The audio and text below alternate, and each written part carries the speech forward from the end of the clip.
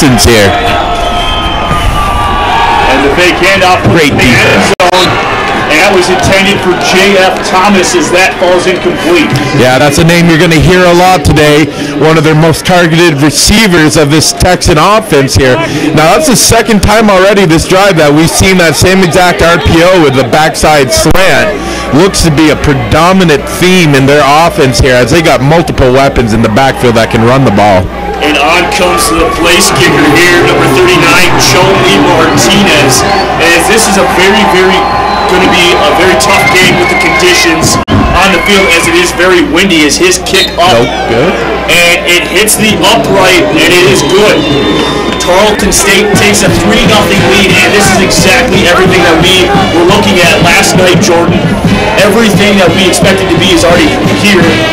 The outscoring of Tarleton State is something that is quite unmatched in the first quarter. Yeah, Tarleton, Tarleton State here, one of the most elite offenses in all of NC, NCAA Division II football. They've had nine games this season of 40 points plus. That is three games better than their previous record of six. So with McCants and Turner in the backfield, they are able to ground and pound, and they uh, find their find their way in the end zone quite frequently. As Turner has 22 touchdowns on the season on the ground.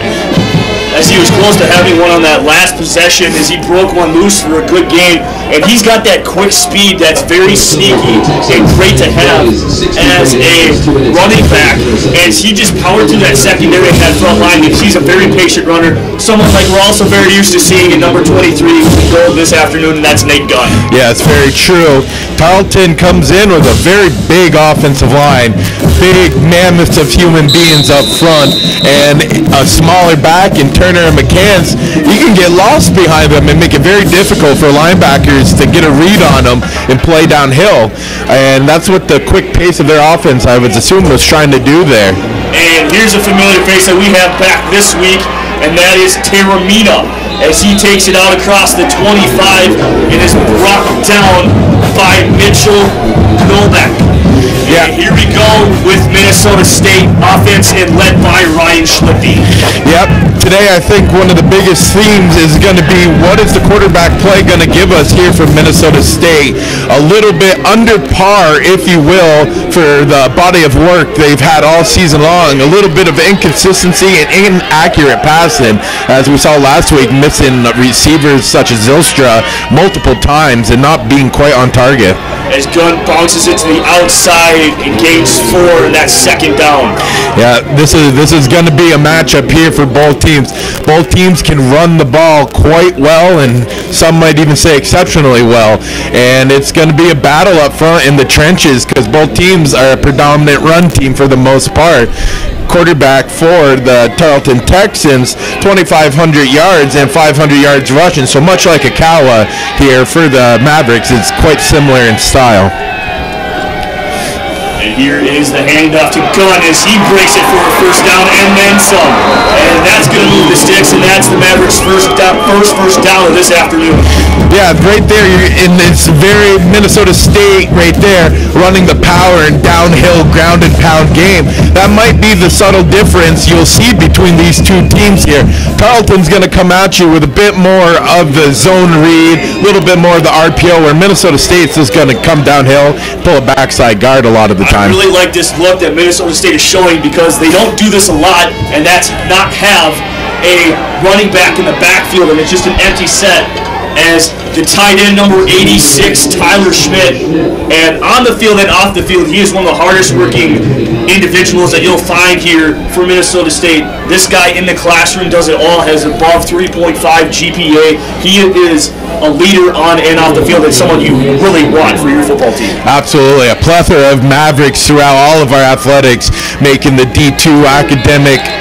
Uh, so we got a timeout here, a timeout on the defense for Tarleton State.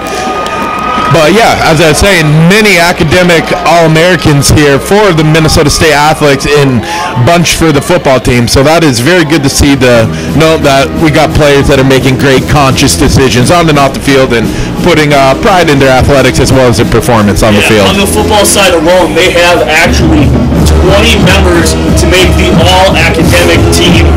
54 out of the entire student athletes here at MSU, or at uh, Minnesota State, excuse me. And it's just great to see that Coach Todd Hoffner cares about both on and off the field activities, and that's exactly what you want. Yeah, and you mentioned with uh, Coach Hoffner and the rest of the staff, you just got to be pleased because you know you're bringing in quality young men to come and perform and lead you and just lead your campus and all athletics. To set a good example for the rest of the student body. So coaches got to be pleased. They got 12 men on the field here. They're disorganized. The ref just spotted it.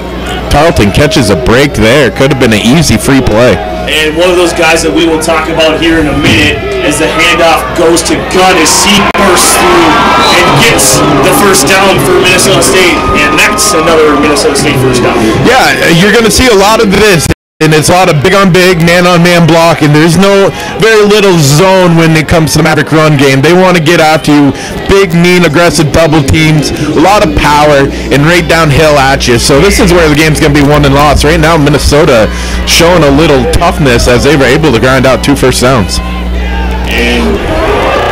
Schlichting receiving some pressure will hurl one up to Zylstra, and that is incomplete coverage there on by number two, Devin Haffer.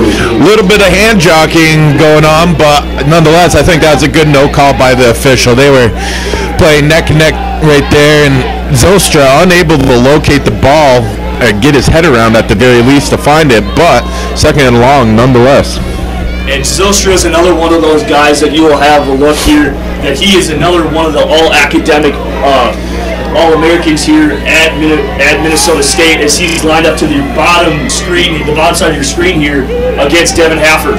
And Schlichty's going to look his way for the second consecutive time they wave it off incomplete both players looking up, trying to see if there was a flag. Uh, refs so far going to let him play. And going back to Zylstra there, he's going to have his opportunities. Now, as I spoke about earlier, can the quarterback play of Minnesota State locate and drop some accurate passes on him? Because last week, boy, he got overthrown three or four times where he was quite open and had an opportunity, but too much or too little at points. So look for Zylstra to get those one-on-one opportunities again here as it's third down and 10 here for Minnesota State.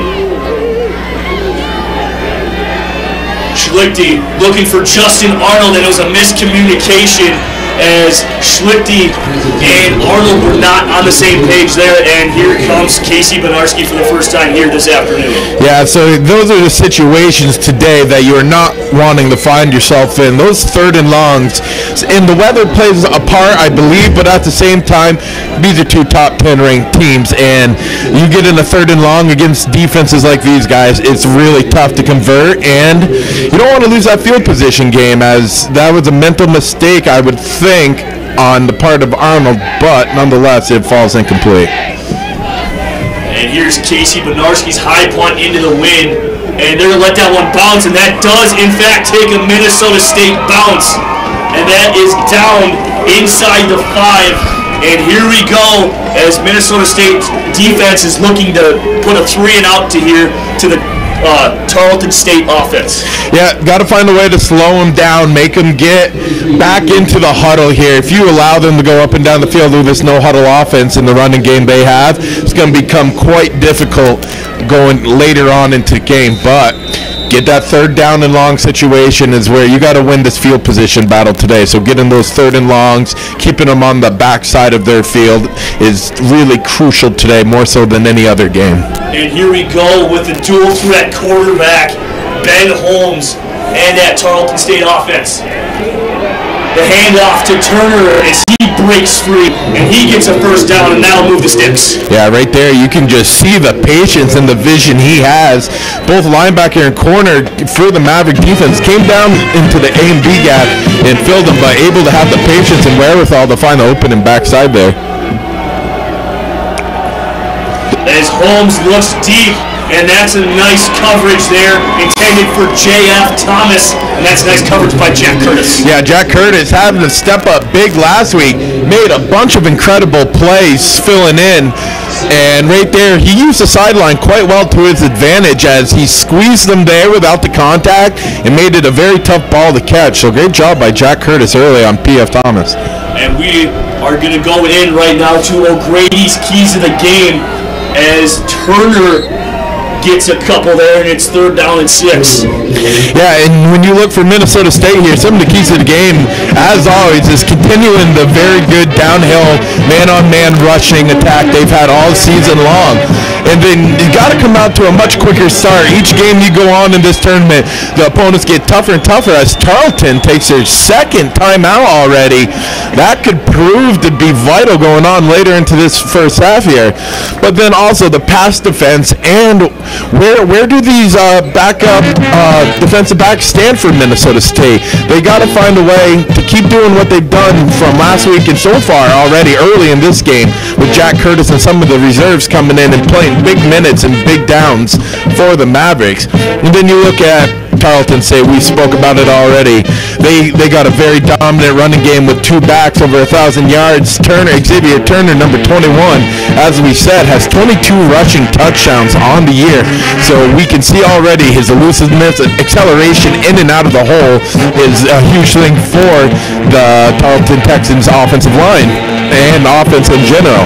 Then looking at the quarterback play for Minnesota State is how is that how is that going to be against a well-rounded secondary for the Tarleton Texas here? And as they come out here from the timeout, in the back is Xavier Turner, none other. And one of the things is you got to keep that Holmes detained, and that's the one thing here that we got to look for as he steps up to receive some pressure. He's getting chased down by Zach Robertson. Alongside him, the big number 95, Michael Buto. Yeah, beautiful job there. Almost got lost inside there, but able with a nice spin move to get back outside. And good job by both the corner and the free safety coming down and locking up and not letting those receivers get into their scramble rules and find open area on the field. Good job, and that's exactly what the Minnesota State defense needed right there. Make them punt and keep good field position. And on to kick here for Tarleton State is the big punter, six foot five, Ron Reed. Back deep for the Mavericks is Justin Arnold. He receives it at the 45, bouncing around like a windshield wiper.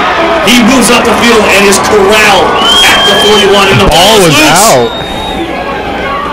And they will say, in fact, he is down, and Minnesota State will continue to have the ball. Yeah, good thing there. That was a little dicey. Great move right off the bat by Arnold. But right now, you got to keep those bear claws on that football. Turnovers in any football game are crucial and usually prove whoever has more of them to be the victors. So giving the ball up in a playoff game is quite obviously a big no-no and something that both teams are going to try to minimize all day today. one of the key players here for Tarleton State is he's lined up in on the far side on the defensive end, and that's number 10, Gary Moore. And here's the handoff to Gunn as he's brought down by number 95, Tyrell Thompson. Yeah, this is going to be a big test today, and so far, big test today for the inside lineman, interior lineman for the Maverick offense. It's going to be a tough test because these are some big boys, and they know how to play the run pretty well, and they've had a good body of work all season. Tarleton has at stopping the run, and right now Minnesota State doing a great job in the middle of creating some creases and giving Nate Gunn some good room to run. Gunn finding a hole, out, and that's a nice shoestring tackle by number 29, Jay Edwards. Yeah, Jay Edwards, I don't think he necessarily realized it, but that was a touchdown saving tackle right there as Arnold was coming up to seal it, but good hustle there. But even better job by the left side of that Maverick offensive line. Evan Heim and Hunter Topple just totally caving down that left side and letting Nate Gunn bust open for a big first down run. And one of the things that we found amazing as of last night, the last two games that they played in the playoffs, Tarleton State's rush defense. And that's a stat that is completely and utterly staggering as they've only allowed a negative one rushing yard as Gunn bounces it to the outside and is brought down by number four, Ronell Wilson. Yeah, and that, that stat both had me and you both flabbergasted because you, you think you're playing the best of the best competition. And sure, maybe these teams they played in the earlier rounds aren't quite the, the horse that Minnesota State is, but regardless, the whole your two playoff games to a negative one total rushing yards, that's staggering, and that shows you're doing something right in the front A. But so far, Minnesota State sh- bowing out their chest and showing they're not afraid of that stat.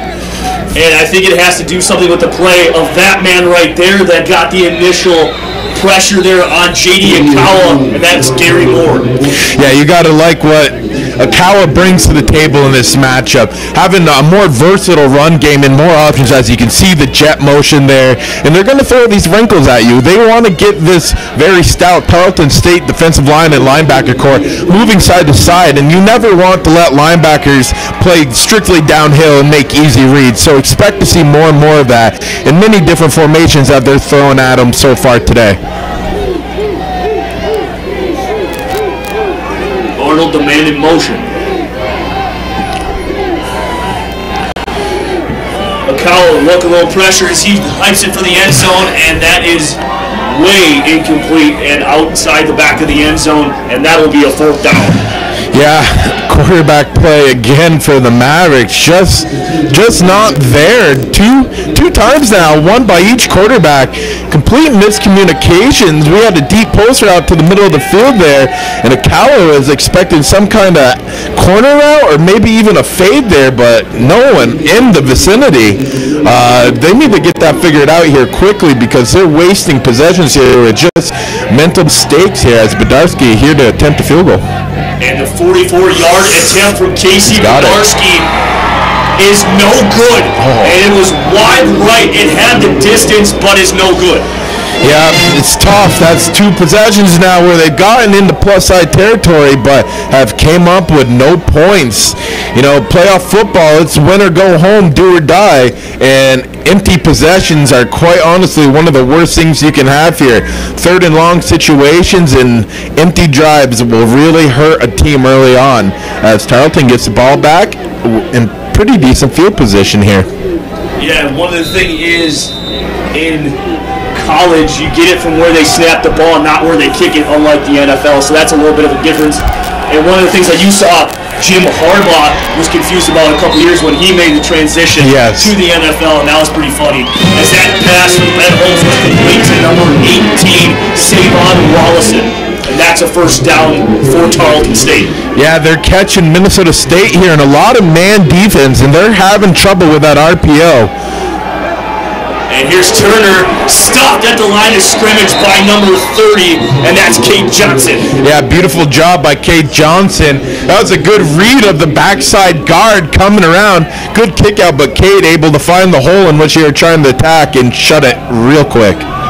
As that was a gain of one, second and nine for Tarleton State on their own 43. False start. And there's a false start, and that looked like to be on the right guard, Chase Levisay. Yep, got a little antsy. Probably, probably had a tough hard count in there, and he wanted to get downhill quick there, and now back him up five. And as, Jordan, as an ex-offensive lineman, is it pretty easy in these type of games to have your adrenaline rushing so you're a little bit pumped up? And is it a little easier to get discombobulated when it comes to memorizing the plays and sometimes like that? Or is, it, is that just me being someone who's never played the game? Oh no, absolutely. You know, offensive linemen, it's very tough because, uh, as many coaches in my day would call it, being a cerebral assassin. As much as you think of them as being big bullies, there's a lot going on in their head, especially right there in the type of offense that Texans run in an RPO. You got to know your zone assignment, who you're working to in the second level, but also having the wherewithal of the snap count because the Texans are going to try to mix up that hard count to a quick count. You're going to get many different things here, and you got to keep your head in there to not get beat like that. And the pressure on the outside from Michael Palmy is that pass from Ben Holmes to J.F. Thomas as he's looking his way quite a few times early on. Yeah, you can tell he's very tall and got the lanky speed there, But Curtis got lucky that the pressure was on because he got turned around and Thomas was quite wide open there. If the ball had a little bit more mustard on it, that could have been a big play for them.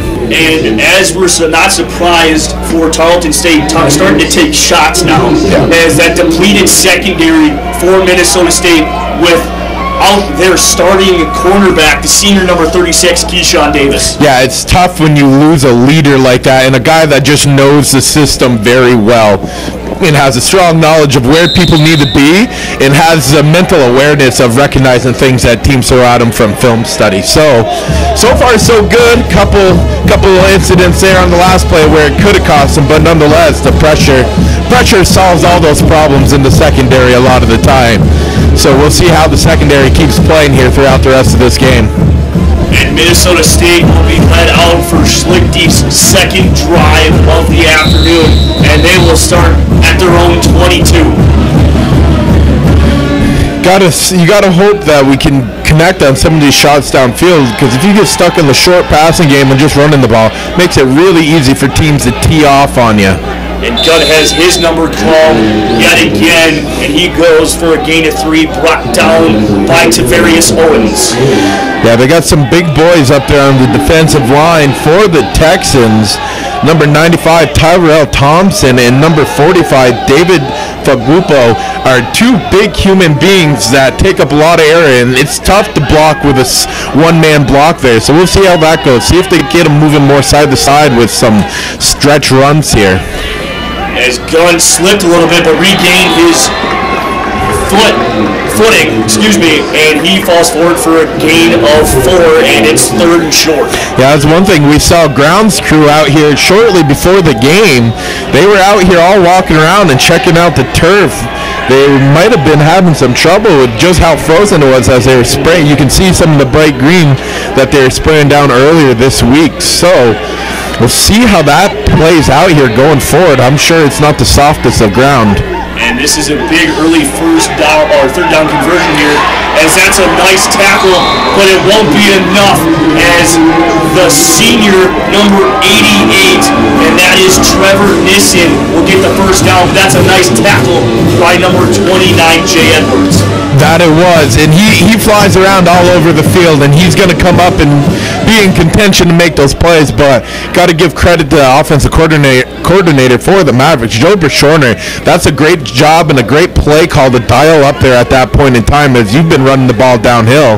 A little play action, get him moving side to side, And and here's Terramino as he sees his first action as he gets back to the line of scrimmage, brought down by the combination of linebackers Rondell Wilson and the first time I mention his name, EJ Speed. Yes, another another Tarleton defender that has made many plays for them on that defense, and right there shows why. Trevor Nissen coming off the field a little shaken up. It looks like his left knee as the tackle was attempted. And then again, talking injuries here, you got to wonder where uh, Taramina's at health-wise after tearing his knee meniscus and what, what kind of comfort level he has. Schlichting looking for Zylstra, and Zylstra's trying to gain some extra yards, and that's a nice tackle by number two, Devin Hefford. Yeah, good effort there. Both men. That's a tough guy to bring down by yourself. But that was a great job of holding on and able to get him down himself there. And that's good. Get Shane Zilstra the ball early because he's a playmaker within his hand and he's quite shifty for a bigger wide receiver. That was a gain of five, third down and five as the clock dips under 150. And Terramina is back in the game, and it's kind of so so real to see him. And he's just a football player as they look for a screen, and it's tipped by number 95, Tyrell Thompson. Yeah, that was a good job by Tyrell there. If he didn't get his hands up and hit that, that could have been a big play for the Maverick offense. But nonetheless, hands got up, swatted it down, and that'll be another fourth down and a punting situation for the Mavericks. as the flurries do start to fall here in Mankato. We were expecting this all along here on this day, but it was, it was mainly supposed to come late, la- uh, late last night and early into today, but it just kept pushing back and back and breaking up. And back is number four, Samari Manning. And we haven't called his name much in the passing game as we thought we'd call his name quite a bit, but that has been not the case. Yeah, slow start a little bit for both offenses, really. Maybe a little bit more yardage there by the Texans. But I still think both teams are still kind of feeling each other out a little bit, kind of poking and prodding and seeing what, what might be available down the road here. Both teams have had some pretty decent success on the ground, and the Texans have really gotten after the Mavericks here in the middle of the field with multiple RPOs that have gone for 15 yards. And they come out in a big double tight set here, a new look for the Texans. And the first time this afternoon, we will see the back Daniel McCants as it's thrown out Ben Holmes, and that's for his wide receiver, number 17, Baxter Curvin. Yeah, Jack Curtis is going to have his hands full because Minnesota doesn't always, or sometimes, if any, flip their corners. They don't have one guy they think can match up with the best. So they're going to test that young Jack Curtis there over on that side and see necessarily what he's made of. And McCants' first carry only goes for a yard as it's third down and three. Yeah, this is these third downs. These are the uh, quite honestly, probably going to be the downs where the game's won and lost because both defense very stout up front. Who can get the most third down conversions and stay in contention? And Ben Holmes goes back again to number 17, Baxter Curvin, as he gets a first down and gain of six. Yeah, they're playing a little bit. We're going to take what you give us right now. Back-to-back times, Curtis was more than a little bit more than 10 yards off the receiver. Now five, and taking advantage of that space. And on the second consecutive play, Ben Holmes will look to pass the ball as he was in 10 for number four is Samari Manning. Nice coverage there by number four, Ty Shannon Brooks. Yeah, good job by Ty Shannon, uh, not not falling for that double move and the up and out route there. Good job keeping his hands within distance to feel the receiver, and the quarterback just had to airmail it out and over the receiver's head of Manning. I know Tyshawn and Brooks, he's got to have a lot of pressure. He probably has to know it in his mind that he's got to have himself a of game as that ball was just outside the reach of Samari Manning. He's got to have himself quite yeah. a day on the defensive end when it comes to guarding their number one wide receiver in Samari Manning. Yeah, and the one thing you can do to slow down that passing attack, of course, is get pressure. If you can get pressure on quarterbacks that have a strong receiving corps and can sling the ball around, that really thwarts any progress there. So it's put a little bit more pressure on this Maverick defensive line today to help out and help help that depleted secondary. And on a third down and 10, they'll hand it off to McCants, and he's stuffed right there by number three, Zach Robertson. Yeah, good job by stringing them out and not letting any gap pop wide open. And that's one thing we're seeing so far today in both Turner and McCants. Both have great vision and are able are able to see the hole very well. And uh, you can see there the Maverick defense able to string it out. But how they keep defending this run offense of the Tarleton Texans could prove to be the vital key or source of how they're going to win this game. As you can see, we come to the end of the first first here. Uh, going to get another fourth down punt here. What offense is going to make the big plays here and break this wide open? So right now, both teams still, as I said, feeling each other out, but someone's got to come up and make some big plays here because both defenses are going to make it quite tough on each other to get any points going. And as we take a look here, it's the end of the first quarter. Daniel McCants runs the way that will end, and we'll be right back with Maverick Football on MBN Network.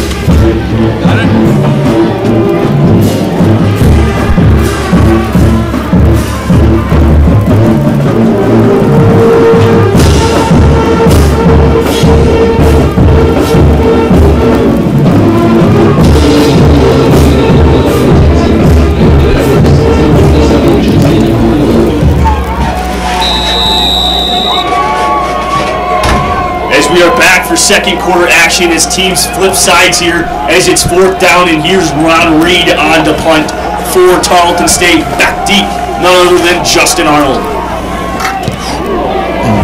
Reed's punt was close to being blocked. And my goodness, is this a good one? Arnold will take it out from the 22, and he gains five as a flag does come in after the play. Yeah, late flag here. I think they may get get Minnesota State with a hold.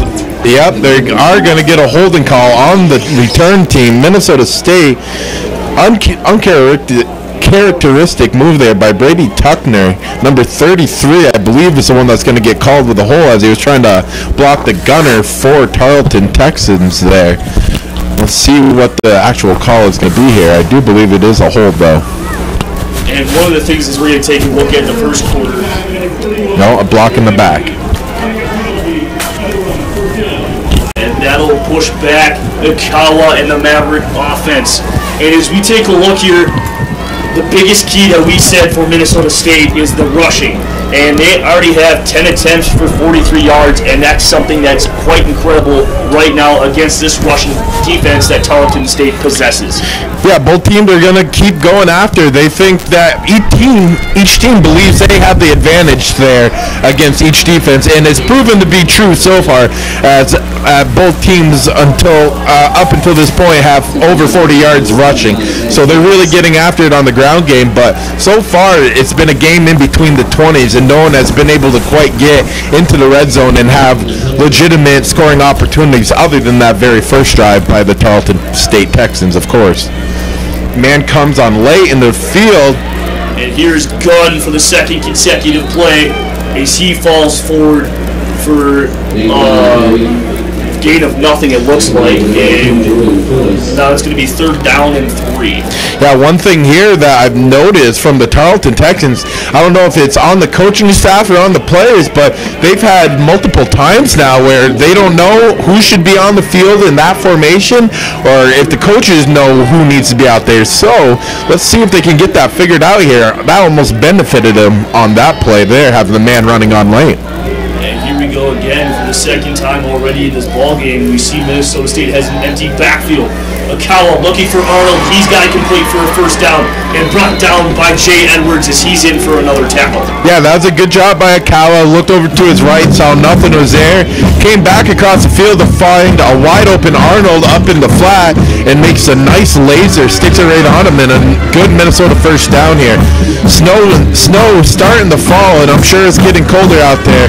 Let's see how the Texans handle that. You saw a lot of the players with no shirts on early in the game. I don't know if they're trying to prove something or it really doesn't bother him. but this weather may have a factor. As Ekowa looks for his mm. back Pribble, and that is Edwards' fourth tackle and back-to-back plays. He's got two. Yeah, that was a hard hit.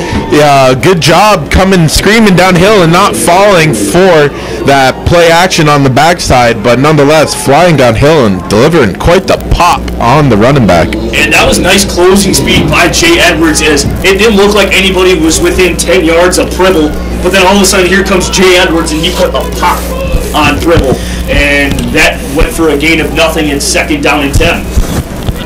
And here's the handoff to Gunn as he slips and falls and gains and loses a yard actually. Yeah, you're seeing the footing here it's starting to become a little bit more problematic. I don't know if they gotta put in some of the longer spikes and go to the three-quarter inch here, but that's about the second or third time Gunn has had trouble sticking that foot in the ground and getting north here.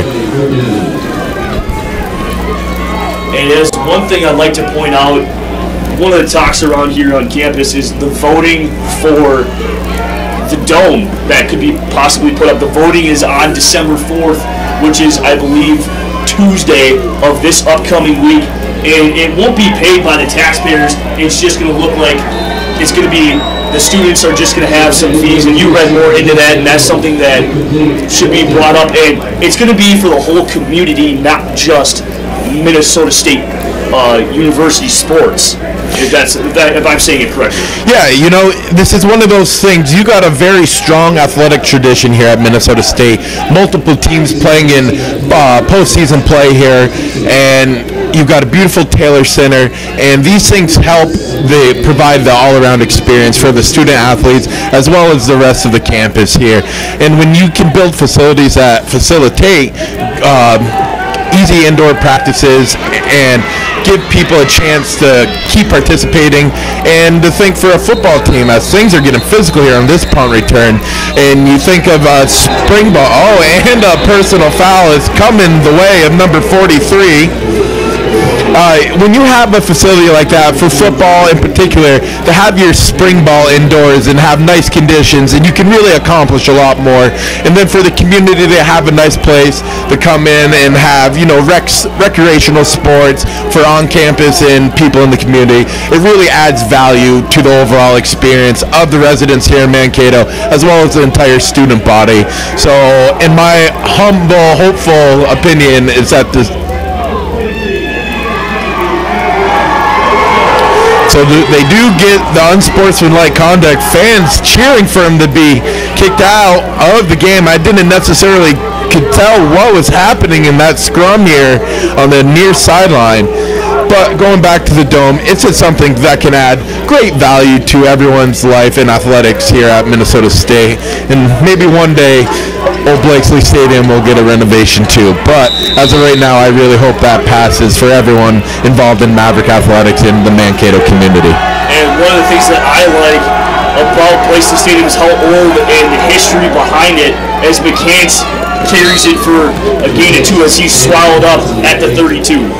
Yeah, you know, I'm all about tradition too, but at the same time, there is a certain you need to stay up with the times, if you will, and and it's it serves its purpose. And don't get me wrong, but it would always be nice to see a little improvements around here, especially when you got a football team like this that has been performing outstanding over the last five years and has a pretty good body of work to prove that maybe they are deserving of this.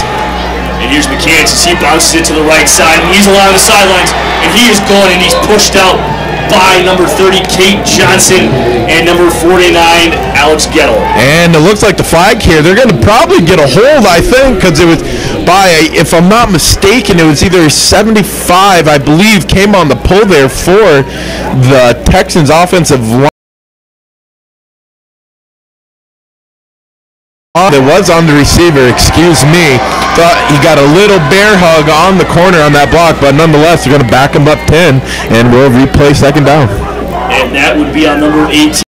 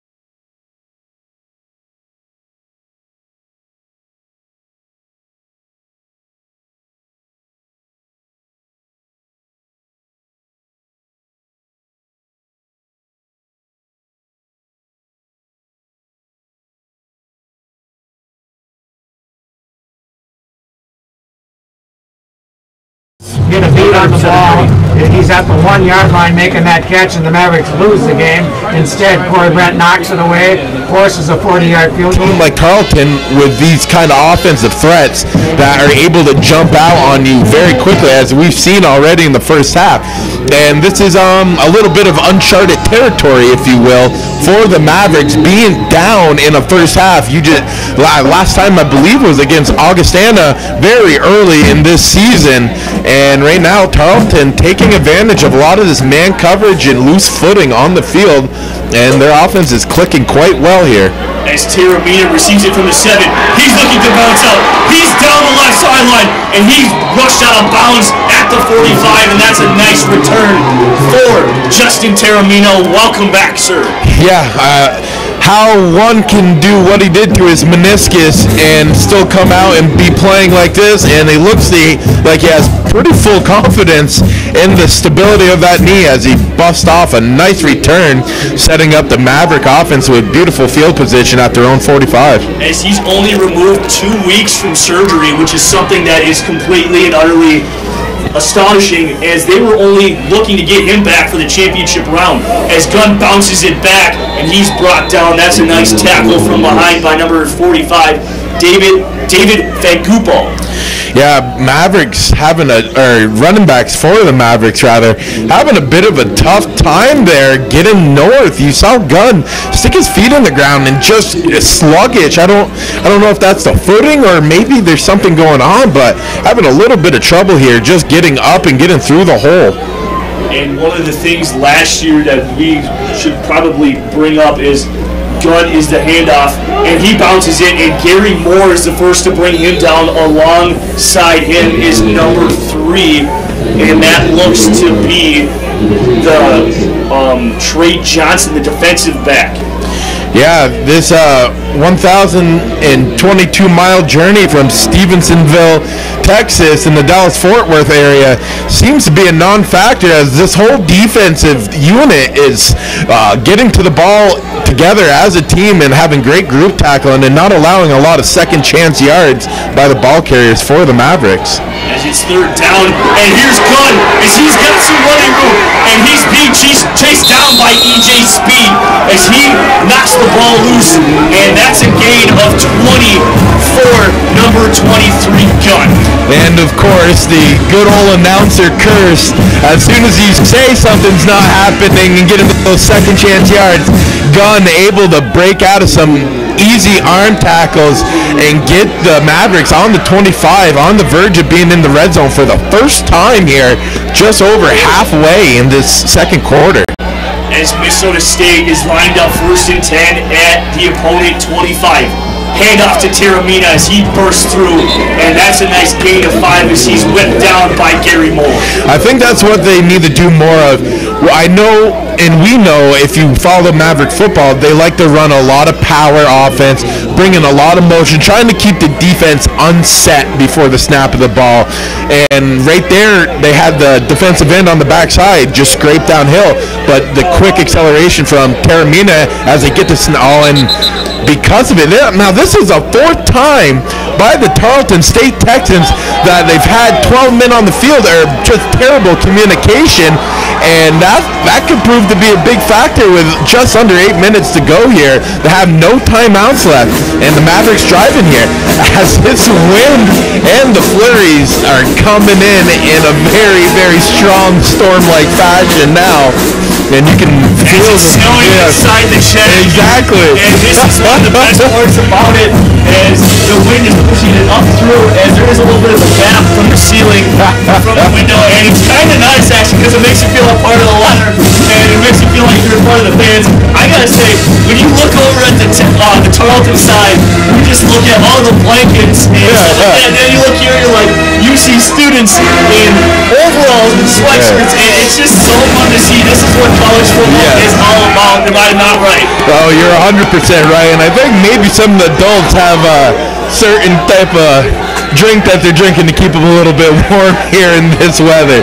But the rowdy atmosphere here at the Blakesley in full force right now as the Mavericks driving into scoring scoring position here on this drive. Jordan, you're talking about hot chocolate and coffee, am I right? Right, maybe mix it with something else, but you know, that's, oh, and the ball comes out. And that's a fumble by Gunn as that was put to the as that was put to the turf, and that's recovered by number 25 on Tarleton State, and his name is Ed Hayes. As Ed Hayes comes up with the football inside the 10, or in fact, Tarleton State will get the ball back at the five-yard line. You know, and I almost said something about it on Gunn's big run there to get him down into this territory. As Gunn got caught from behind by speed on that play, he did punch that ball out.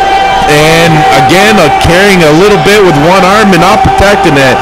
The Tarleton defense swarming to the ball and punching it out. A big play there by the Texans.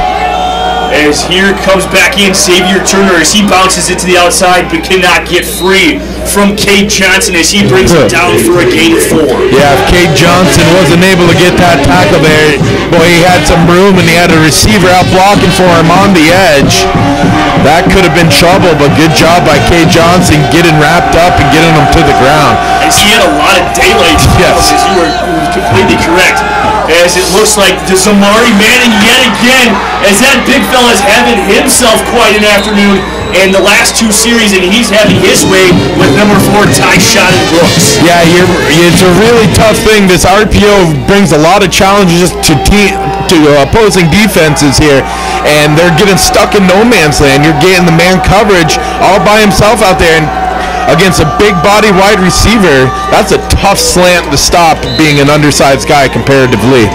as he had the man, uh, Madden Truxton. Yeah. Xavier Turner just gave uh, Parrish Morrow what his name was all about, and he just went helmet to helmet football, and he made him aware. As Ben Holmes looks for his number one target, Zamari Manning, as he's brought down by Jack Curtis. Yeah, Manning proven to be a big factor here. His big body just is making it tough for these smaller corners for the Mavericks to get around him. That's one tough thing, much like in basketball. The big centers and power forwards able to block him out, box him out, and go up and grab that rebound if you want to see it that way. As Turner runs right into his offensive line, and we have a helmet down as Michael Palmy will have to come out of the game because his helmet did come off for one play. Yeah, get it's getting a little chippy out there. Tarleton coming out and showing this weather, and we don't care that you're the number one team. We're gonna play you like we've played every other opponent here. And the defense reeling just a little bit for the Mavericks here. Don't quite have an answer for these big receivers in the running game so far.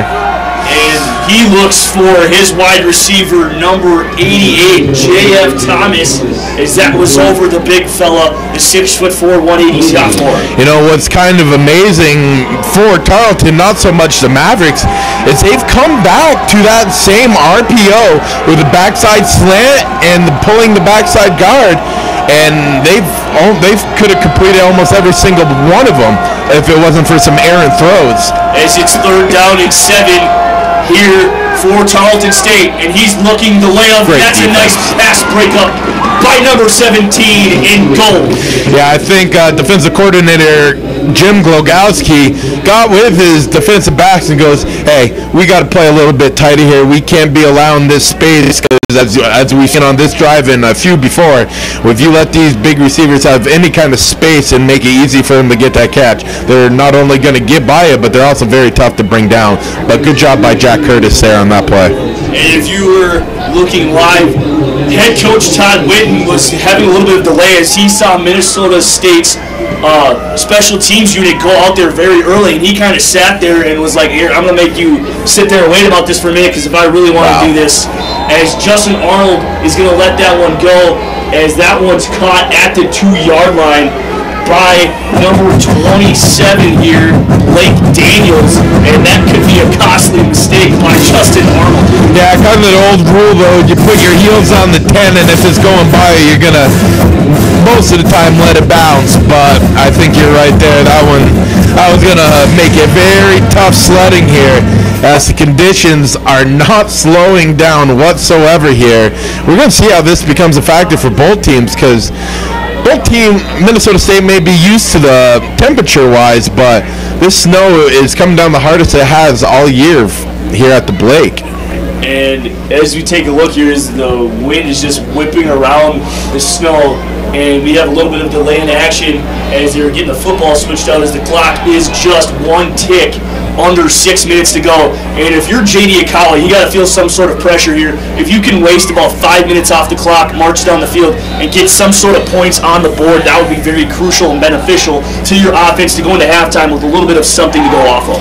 Yeah, and you know the quarter we mentioned at the beginning of this game. Uh, good job creating some breathing room there and it's getting really dicey out on the edge here. But we got to see something out of this quarterback play here for the Mavericks, and both of them had great regular seasons in their own ways, and so far through the playoffs in the last regular season game is just been the inaccuracy and the miscommunications of these players, um, of the quarterbacks and these wide receivers, and not connecting like they were early on. As Gunn for the second consecutive play goes for a gain of four as it's third down and two inside the 15 for Minnesota State. Yeah, and looking at some of these stats here, this Tarleton State has a great game plan offensively so far. They see a bit of a depleted secondary with some younger corners in there, and they've already they're almost at 200 yards. They're at 174 yards in the passing category here, and they're really taking advantage of it so far. Well, it all had that be that, that 174 passing yards had a lot to do with that 68 yard touchdown from Holmes to Samari Manning, and that's what gave the uh, Tarleton State the 10 0 lead. As it looks like they will, in fact, give it to Minnesota State as Gunn gets the first down for the Mavericks, and that will just send the change in here comes Ekowa and company. Yeah, Minnesota State already over 100 yards on the ground here. And that was a very big first down for not only the fact of field position, keep the ball a little bit longer. Because if you have to punt from inside your own 10, especially going into the wind in this weather, as I believe we're going to have a false start here. And it looked to be on the right tackle, Jared Goosen, if I'm not mistaken, because he's the one that got pushed to the floor. Yeah, a little bit undisciplined football so far by the Mavericks. Some penalties that they don't usually make. Players pointing a, a, that it's against Tarleton. We'll find out right here.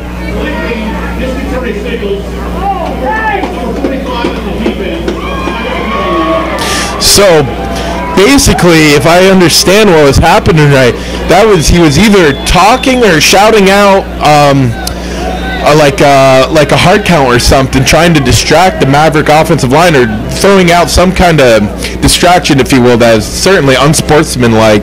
And or they called delay a game there.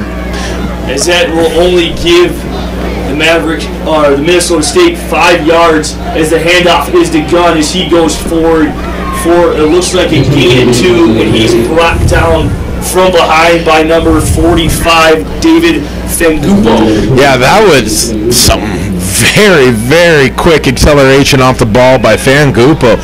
For a big man to play down the line and get the hands of the offensive lineman off you that quick, that was quite impressive there and shut down that run play very quickly. Fangupo reminds me a lot of the old defensive tackle for the Minnesota Vikings, and that was number 93, yeah. Big Kevin Williams. As he was a big guy, but he got a lot of hand jabbing and stuff at the line. Izakawa will take it as he eludes some tackles and is brought down by number 24, Prince Robinson. And I think that's what the Mavericks need to take more advantage of because much like for Gunn having a tough time getting his feet set and getting going here, that's tough when you got a scrambling quarterback out in space for defenders to come up, break down, and make a solid tackle. As you saw, he was able to slip a open field tackle there and pick up a big first down for the Mavericks. And Ezekawa will get to draw yet again as he's stuffed right away by number five, EJ Speed. Yeah, just not a good job by Ekowa there, seeing the field. That was a good job by the offensive line and running back creating a seal, but he saw something there and decided to tuck it inside when he had a bit more pasture to roam through on the outside there.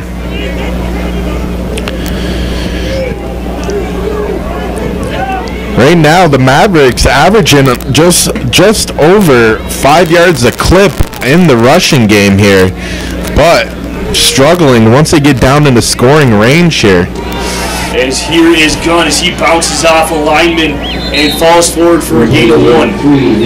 Yeah, this defensive line, for as big as they are, they are quite athletic and do a good job of playing playing gap to gap and making it tough sledding. They do a good job of not crashing down too fast on the backside as well, allowing an easy easy bounce, if if you will, for the running backs of the Mavericks.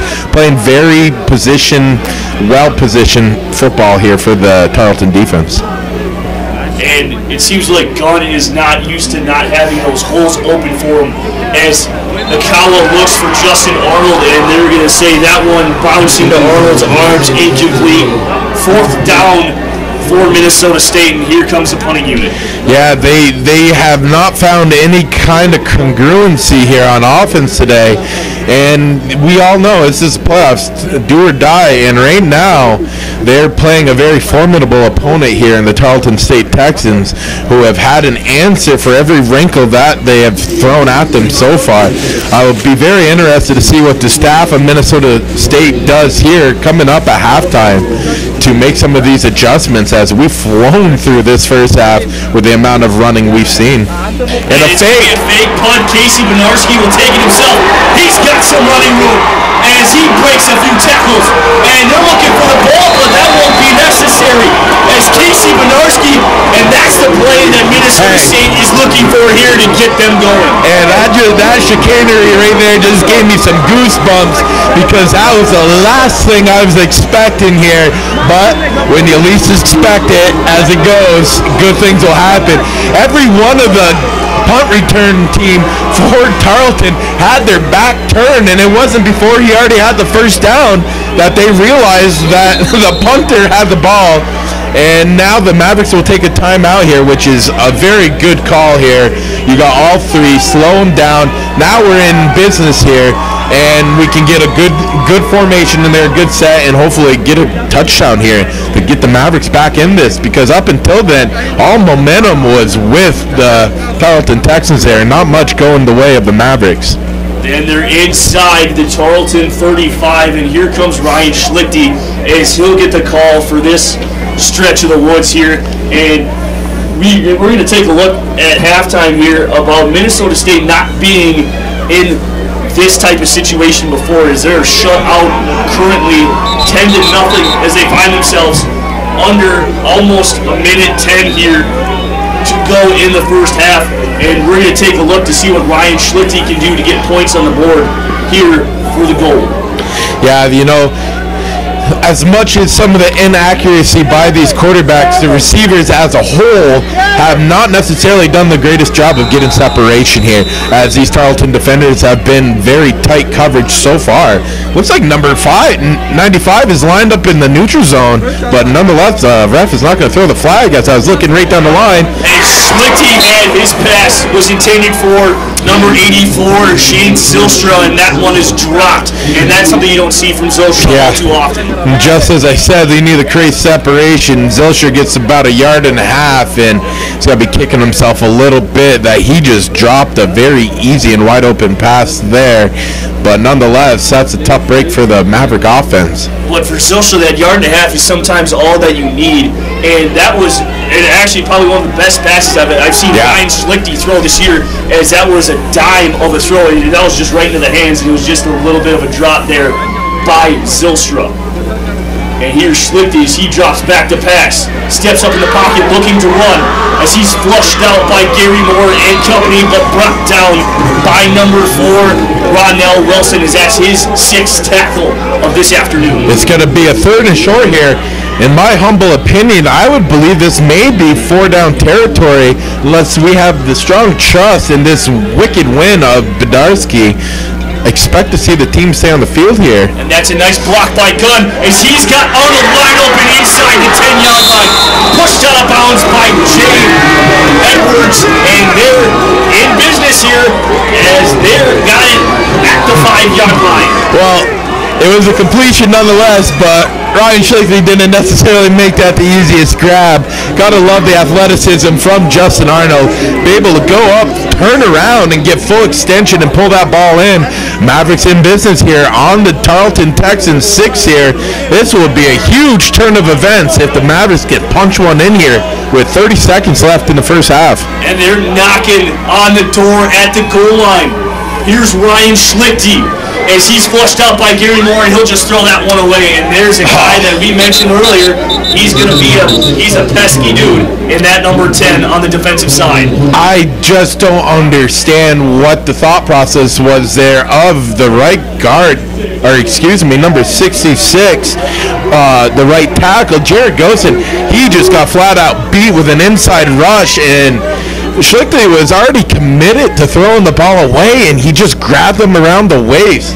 Uh, very ill-advised play by the right tackle. I get the thought process there because you don't want your quarterback to take a hit, but I have the wherewithal to see your quarterback throwing the ball away, and now backed up out of territory in a long first and goal situation. The clock does show 23 seconds left remaining here as they hand it off to Gunn. Gunn goes up the middle and is brought down as they're playing a little bit conservative as he's brought down by EJ Speed. And that's a timeout from Minnesota State and head coach Todd Hoffner. Yeah, you saw Gunn slip right away as soon as contact was made. Feet slipped right out from under him, and uh, yeah, tough, tough second and goal situation here. Time now a factor. One timeout left here, so you would gotta you gotta hope that they get a passing play to get inside the five, where you have the playbook kind of wide open at that point. And you know it's a tough situation because do you go for it here, or do you just trust the strong leg of Bednarski if it comes to that point here in this drive? And coming up at the halftime, we will be going over some key things that we have seen from this first half. Also, we could be joined by the site coordinator here that puts all this on. But it doesn't look like we could see him as they could do some snow removal here. as you, at the beginning of the broadcast, if you were with us throughout this whole entire first half, you could see the logo on the 50-yard line. That is completely covered and you can't see it no more. As here we go, coming out of the timeout. One timeout remaining for Minnesota State with 18 seconds left. Zero timeouts for Tarleton State. Schlichty, the design quarterback run, and he's brought down by Tyrell Thompson and EJ Speed as EJ Speed decides to celebrate with a snow angel. That was, uh, in my opinion, a very conservative play call there. I don't, I don't, I don't know if you even want to let your quarterback take a hit like that in this deep of the red zone. Get a shot, put a ball in the end zone. I would feel like, but nonetheless, um, Joe Bashorner felt like he had something there, and that was the call they went with. But to no avail. Let's see if they bring on the leg of Bednarski here. They attempt a three. It still may be a short kick in terms of Bednarski's range, but this wind blowing across the field could make it a difficult field goal attempt if that's what they elect to do. as the wind is blowing from east to west here, and it's coming down now as the snow continues to fall, and it looks like a blizzard here, and this has got to be pretty fun playing conditions if you are out there on the field, but my goodness, is it cold as the temperatures are at 30 degrees, and if you're Minnesota State, you're going to be lucky here. You probably got to try a pass here eh, with you know, so many seconds remaining as you just want to stop the clock and just in case to get Bednarski as he drops back and it's underthrown and picked off by EJ Speed at the floor. Just, just a very, very, very poor throw by Schlichty. You had the guy, you had him over the top going to the corner of the end zone and put very little mustard on it. Maybe the weather and the wind had an effect on the ball, but you got to put it in a spot where only one guy has to catch it, that being your own guy, and underthrown ball, and that thwarts all momentum on that drive as that is another turnover for the Maverick offense. As it looks like Tarleton State is just going to take a knee here with only three seconds remaining, as this is a little bit of a uh, weird formation for the knee, and that results in a halftime. At halftime, Tarleton State leads the number one team in the nation, Minnesota State, 10 0 and you are watching Maverick Football here on MBN Network.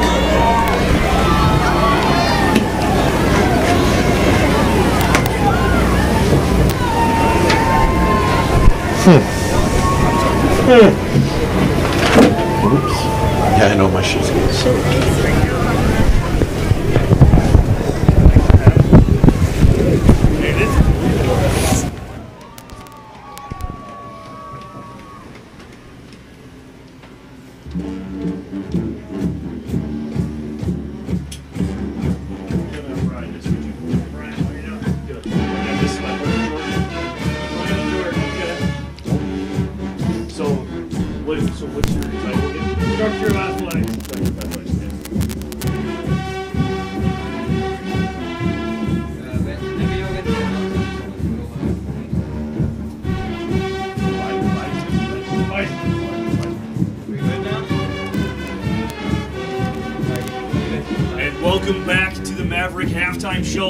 As this game is everything that we expected it to be, and we'll get to that in a minute.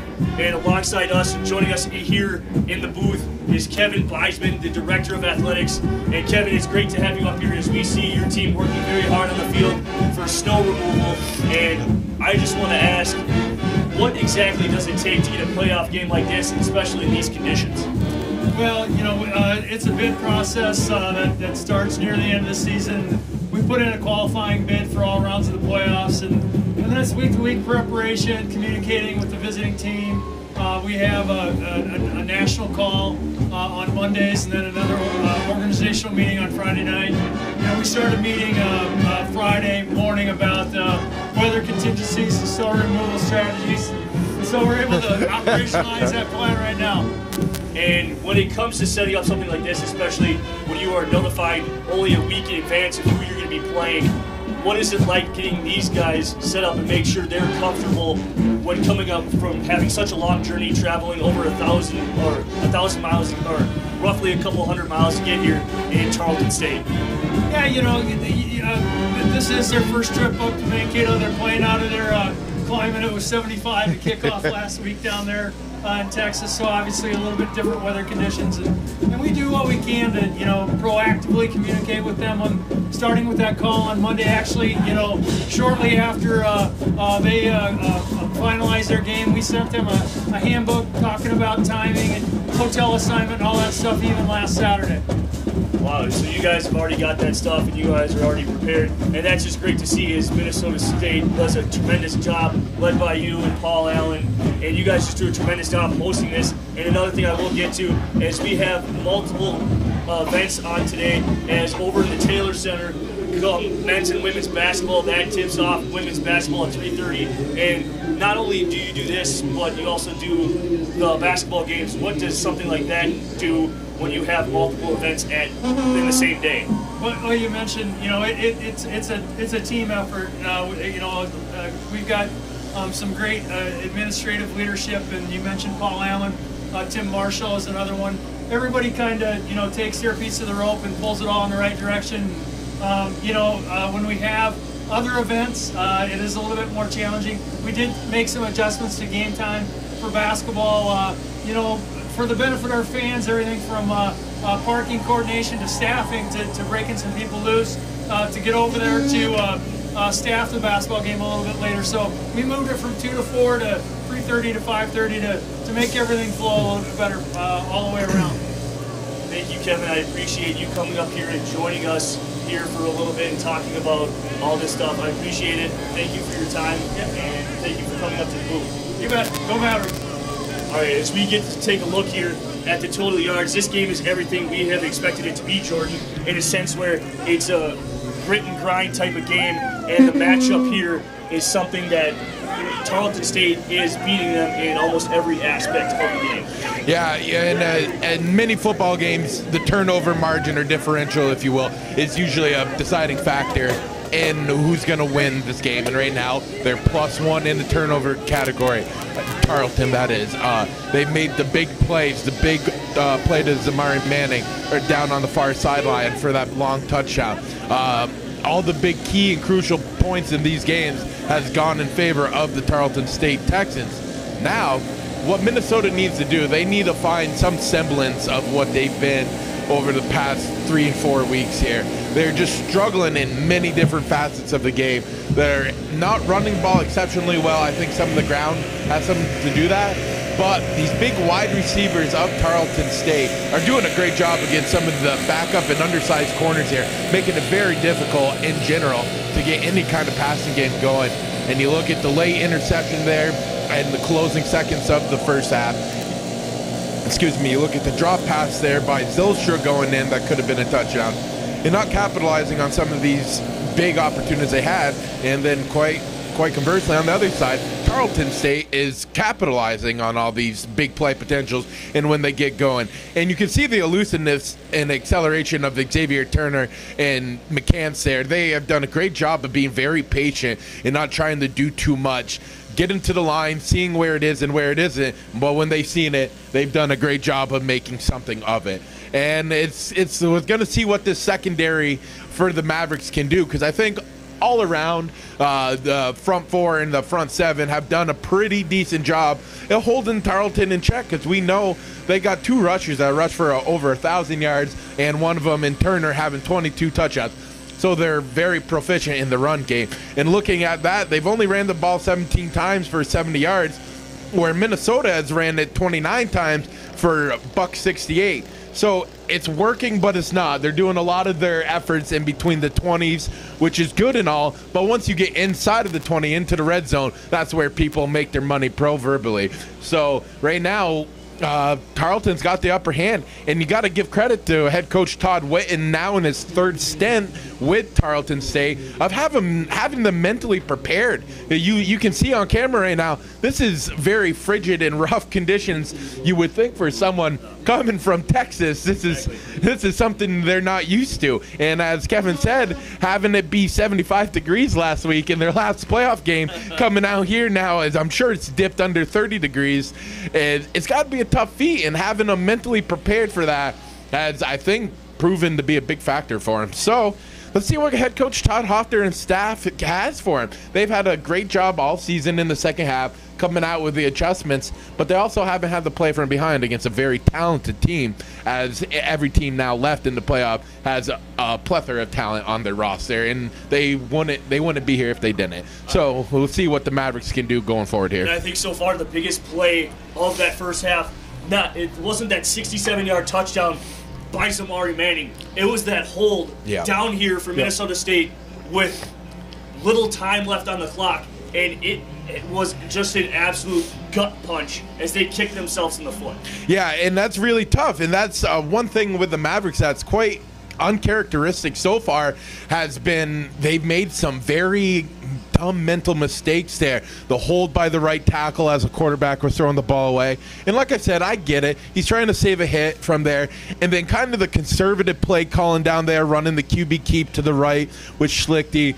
Uh, you know, you just don't want those hits on your quarterback. And it just just not things aren't clicking necessarily on all on the right cylinders for the Mavericks.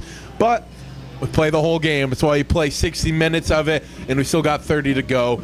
And you look at some of these replays here, and the big one that I thought was going to do wonders for him to try to set up that scoring drive was a Bednarski uh, fake punt and run there. Beautifully designed, and I thought that was going to be going in for seven, but nonetheless, Tarleton came right back out and a quick change of pace there and made a great defensive stop there in an underthrown ball. So hopefully this Maverick offense and the quarterback play could pick up just a little bit.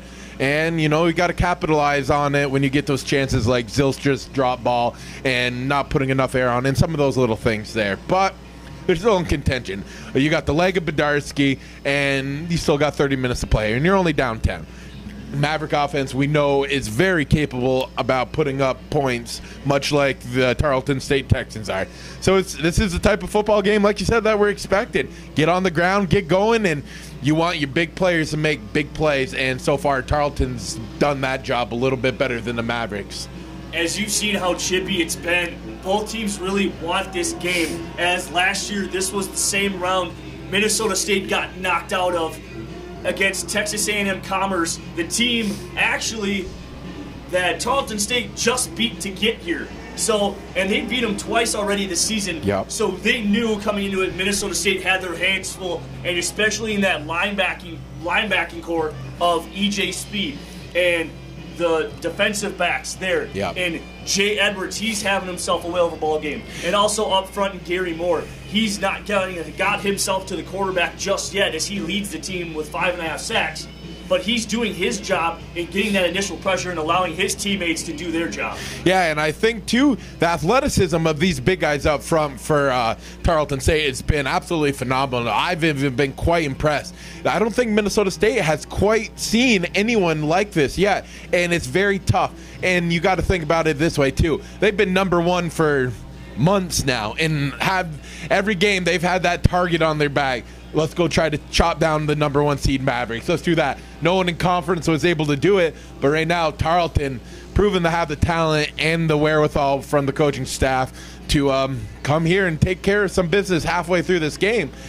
And one thing I thought the Mavericks would be able to capitalize on there is some of the miscommunications and um, people not being in the correct spot for Tarleton State, where they had to burn all three timeouts very quickly in that first half. But none of it proved to be uh, any kind of a factor for them as offensively they came out and took care of business and got up quick and i think that's one thing we talked about yesterday in a little bit of our prep is that you know i thought exactly what was going to happen is that minnesota state was going to come out and uh, get punched in the mouth first you know how are you going to react just like a boxer you know you come out and take a hard jab Yeah. right to the face Yeah. right away you go whoa hey Yeah. not used to this but settle down. Hoffner and staff, they're they used to this situation, and you know Tarleton's playing up to the challenge. They are definitely playing up to the challenge, and quite.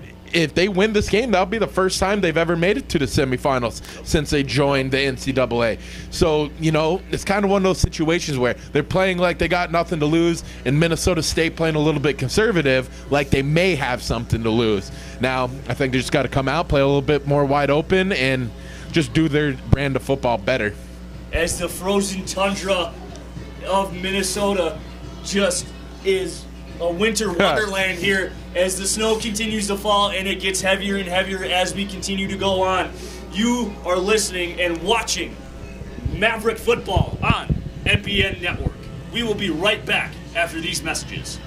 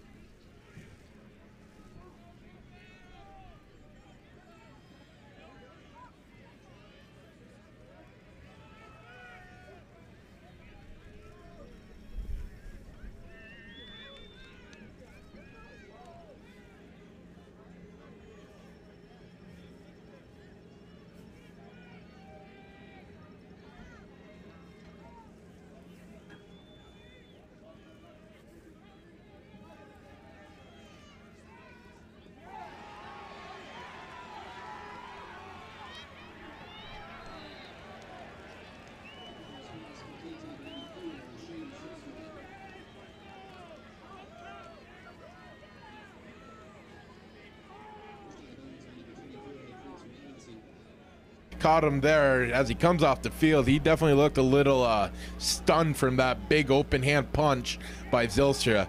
That's not one man I would want to take a stiff arm from coming across the field. especially in this time and place when he rips Yes. your helmet off. and as the handoff is to Gunn, as he's looking for some room, EJ Speed forces him to the outside as he goes after the ball, but is forced out. That's a nice gain of nine here for Gunn, and the Maverick offense is under uh, way here, and they are looking to start with that one-two punch here as Zylstra and Gunn are getting what they need. Yeah, that was a good patience there by Nate Gunn, uh, getting right on the back. I think they need to change it up just a little bit. They're getting a little bit predictable here, and when second down comes or first down comes, they go right to that power. as Ekowa has all day to throw, but he's hit by EJ Speed the ball's up in the air. And that is fumbled by Jay Edwards as he was the one to intercept it. But coming up with the football, in fact, is number nine here, and that's Chadwick Thibodeau. Yeah, no one accounting for the man coming off the end line of the scrimmage, and Ekowa eats a big hit right to the chin. Ball goes up in the air, and it was up there playing an old fashioned game of 500 like you would back in the neighborhood, and not the start for the Maverick team you would ex- you would expect to want here. But nonetheless, defense has got to come up big. Each possession grows a little bit more and more important here. Each one you go into the game. And that guy getting the initial pressure is EJ Speed. And here's Xavier Turner as he gets a gain of four as he's brought down by number 49, Alex Gettle. Yeah, good job by Gettle coming in, finishing up, and helping there.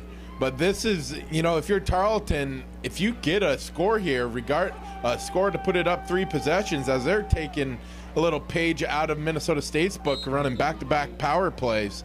It's got it's any points here, especially a touchdown. It's going to make it very, very difficult for the Mavericks to stay in it. But a big third down here, quick three and out, could could prove vital to go a long way for this Maverick defense. as the linebacker Zach Robinson. they stop him. One, as he is there in on that one again, and Zach Robertson is making a name for himself as he continues to be a force to be reckoned with on that defensive side. That's a great job there by the defense as a whole, and there, as you said, big time, big time job of making that three and out happen right there, and a chance to get the ball back. Now, if you're Minnesota State, you, just be careful you don't get a taste of your own medicine here, because you pulled it now, and these conditions might not be the best for a, a good punt, uh, if at all. So keep your head up here, but they will in fact kick it. And here's He gets away a boomer. To Arnold as Arnold's gonna let that one bounce, and that takes a very big bounce in the favor as he slid into the end zone.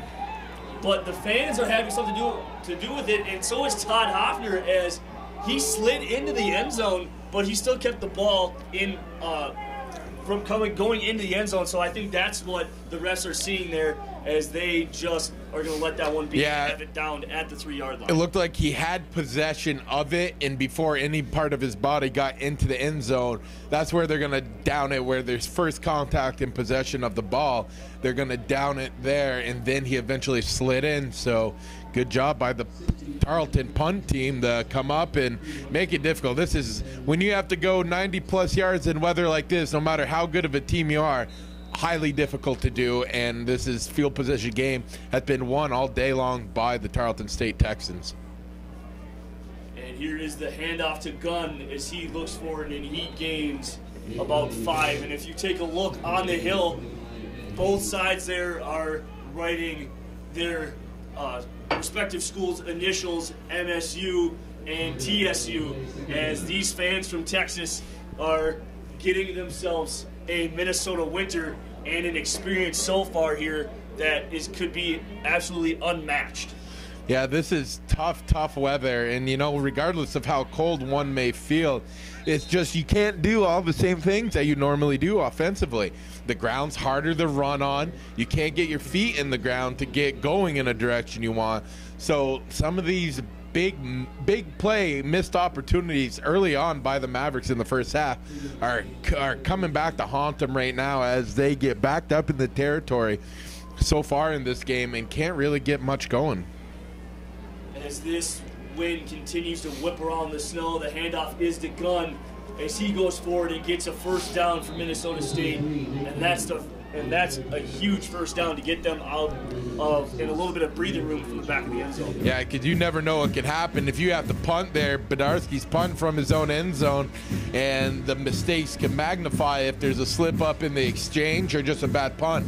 So they need to get the, at the very least here, get that field pos- position flipped here on this drive. But points have been at a premium here in the Mavericks, not able to cash in on any so far. And Schlichty is in at quarterback for Minnesota State. And it's a design QB run as Schlichty heads up the middle and goes forward and gains about seven as he it is another shoelace tackle by number 29, Jay Edwards. Uh, This is what I would like to see more of out of this Maverick offense. Uh, You can't really be running this power this power game per se because you're moving too much laterally. You need to just go north and south here, straight ahead. So simple little dives, they're little isolation plays, they're isos, if you will, straight ahead because you don't want to try to be dancing around too much because nothing's going to happen there. And Minnesota State's offensive line has done a tremendous job against Tarleton State's as the handoff is there to, and I believe that is Schlichty, as that was another design quarterback run as he gains the first down, and that'll move the sticks. Yeah, good job by Ekowa there, finding that little sliver of space. You got to give credit to these edge defenders here for Tarleton. They've done a great job of not letting them bounce too far outside, and it's making it easier to let your D linemen play down the line and let your linebackers come downhill and make plays. And so far, they've done a great job containing Gunn. And here is Gunn as he gains a couple, and he's brought down by number nine, Chadwick Thibodeau. A little bit at a time here. They're getting into it, getting still up. They're still upwards of five yards a carry, but it's in between the 20s, and they have, uh, like I've said, have struggled getting into scoring range. And Schlichty here on second down and seven, hands it off to Gunn. Gunn falls forward, and he's brought down by number five, EJ Speed. This is exactly what the Mavericks need to do. Let this very big offensive line start to lean in some people. Get some bigger double team blocks up front because it's tough for the linebackers as is to make a tackle in space with the way the footing is. So get these offensive linemen up there being aggressive on those first level defenders as the far official looks to have the spot for a first down and that they do. That's another first down, the third one so far. And it seems like the more the snow falls, the more the Mavericks are moving the football.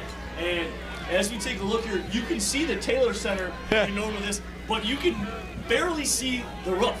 And it's kind of, I don't know whether you could say excitement is this is our first big snowfall, as we're projected to get six to eight inches here in Mankato, as that run by Terramina goes for three.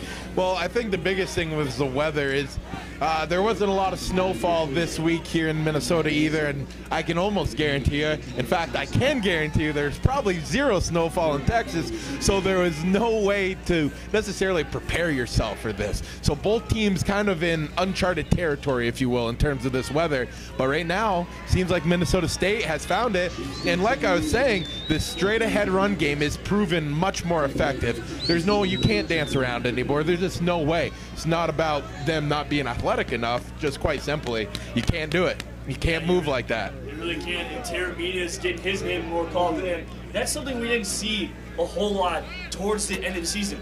At the beginning of the season, you saw Gunn, Terramina, Pribble. Pribble would get his fair share of knocks and carries. And then you get Terramina, who would have himself about 10 carries, Yeah.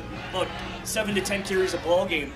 You didn't see that the last five, six games of the regular season and last game even. Well, I Yeah. know Terramina was out, but it's just still, it just shows that they rely on Gunn so much, and having Terramina as another back in there to relieve Right. Gunn is something that I think really goes unnoticed. Absolutely. And something that when it comes to the dual threat of the quarterback, but also the tailback. Yeah, and you know it's good having that one-two punch in the backfield as you're alluding to there. You know, um, I'm not. I don't know what's going on here. I don't know if they're gonna. There looks like they're gonna get an official's timeout here and get a measurement here, as I'm sure it's not the easiest thing to see are the hash marks on the field. But I like what they've done so far here, coming out in the start of the second half in running the ball straight ahead, and they're they're allowing their big offensive line that we has been highly successful in the running game and running running right behind them, and they're letting them lean on those defenders, and it's proven to help help this offense out quite heavily here so far. And we await the spot in the chain gang to get this sorted. And first down for the Mavericks. And some of the Tarleton players pointing at the chain gang or the officials on where they spotted, but nonetheless, that's a first down and Mavericks ball. And one, You just hear the excitement from the, Yes. the parents and the supporters here that are enduring these conditions, and it's just quite remarkable the love that Minnesota State fans have for their football here. As the handoff goes to Gunn, Gunn's got the parting of the Red Sea as he falls on Jay Edwards. It looks like, and he gains even about a yard more. yeah, they're finding a little bit recipe for success. In a way, you can see them taking out some of their defensive linemen. It kind of null and voids the athleticism of the Tarleton defense. And I don't mean that in a bad way, but when you run straight ahead, that doesn't allow them to be athletic, get the hands off, move side to side, and make a good play, if you will. and more confusion on the defensive side for Tarleton State as that's a nice run there by Gunn as he looked to break something. But in there on the tackle is Devin Harford and EJ Speed as that is another Maverick first down. Yeah, that was a great job there on that carry to keep the feet moving, not letting them stop, because that's when it becomes hard to get going again in these conditions. You got to keep that forward momentum. As we already climb under six minutes here, you look at the style of offense that's being played. This is what you're gonna get. So when they they need points now, and if this is an empty drive, it's gonna get mightily tough come back in this one. As a big play by And one of the Fangupo there. that we did notice when it came to Tarleton State and possessing the football, as we looked at it, it was incredibly remarkable at the fact of they held it for 31 minutes of time. I mean, that's not that remarkable as it still was about half the time, but it was with all the points that they threw up, and Right. yet they still had are leading in time. And this isn't the case this game. Right. At halftime, Minnesota State held the ball for 19 minutes and 31 seconds, compared to Tarleton State's at 10 minutes and 29 seconds. And it's just a back and forth matchup here, but Minnesota State is really running this football as they are not passing it whatsoever, except on that shallow cross by uh, Shane Zylstra on that first drive. Yeah, and I'm, I'm really interested to see what we're going to get for a play call here on this third and long, about third and about seven and a half, eight, if you will. What what are we going to dial up here as we're in the pistol formation? as it play clock got to three before Schlichty decided to snap it. As Ah, first takes down. A, a nice, careful cut there as he doesn't want to pull anything or do anything to himself as he gets another Maverick first down, and that's number six on the drive. I absolutely love how you put it right there, the careful cut, and that's exactly what it was. You can see the free arm that didn't have the ball winding up to try to control that momentum. And we're going to have another officials timeout here as they're going to bring the chains out again. I, I am not envious of this official's job here No, to try to no. find where the ball should be placed and if it's a first down. This is remarkable. They had the 20 yard marker all cleared out. You don't even know where that is anymore. and as the clock shows 3 minutes and 37 seconds left here in this uh, third quarter, and this game is just moving. Yes. And the uh, Tarleton State has only had one possession in uh, about 11 and a half minutes of uh, play here in the third quarter, and it's just remarkable that they only held the ball for 45 seconds. Right. Well, you know, and that's kind of the nature of the beast here. And that's why I'm saying Minnesota State's got to come away with points here.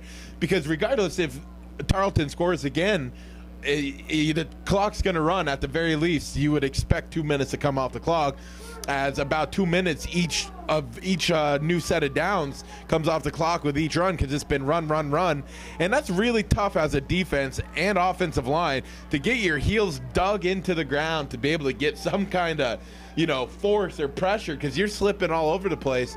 And when you get a elusive back like Gunn and Taramina spelling him, it's um it's really tough to get your footing and get a solid tackle. as the fans start the MSU chant, waiting for these referees to get everything situated as they were trying to remove the snow to help them out for this measurement as it comes up and it looks like down. Minnesota State does in fact get the first down by half the length of a football. Yeah, that's huge right there. And you know, quite honestly, that may have just helped Minnesota a lot more than it does Tarleton because it gives. Uh, uh, excuse me, offense co- coordinator Joe Bishorner some time to really think about and dial up a better play here because they got them on their heels a little bit. This drive in the running game was straight ahead, and we got now the far judge coming in and calling time here. Needs to communicate something with the head ref. as this just continues They're gonna put as it, 17 as they, seconds back on. Didn't have the ball lined up quite right, and they're going to put seven seconds back up on the clock as the clock did show 3:30, and there's the re- there's the whistle to start the game clock or the play clock and the game clock. As here's Schlichty in the pistol formation, and here's Gunn as he tries to bounce outside, but that's a nice tackle by number four, Rondell Wilson, as we've mentioned his name a lot here this afternoon. Yeah, he's played very well for the Tarleton State Texas defense. You could see a little bit of struggle there, and Schlichty just getting out of the way on the handoff. You could see his feet pitter patter and almost uh, slow down that run play before it even started. And here's the design quarterback run, as that's a nice cut by Schlichty and a nice block by Zylstra. But Devin Hafford brings down Schlichty as he's just short, and it's third down in about two. Yeah, I, it's tough to say, too. You don't necessarily know. It's like kind of a 50 50 ball right now. Is it fourth down territory, or do you have the confidence in this weather where Bednarski could poke one through for you?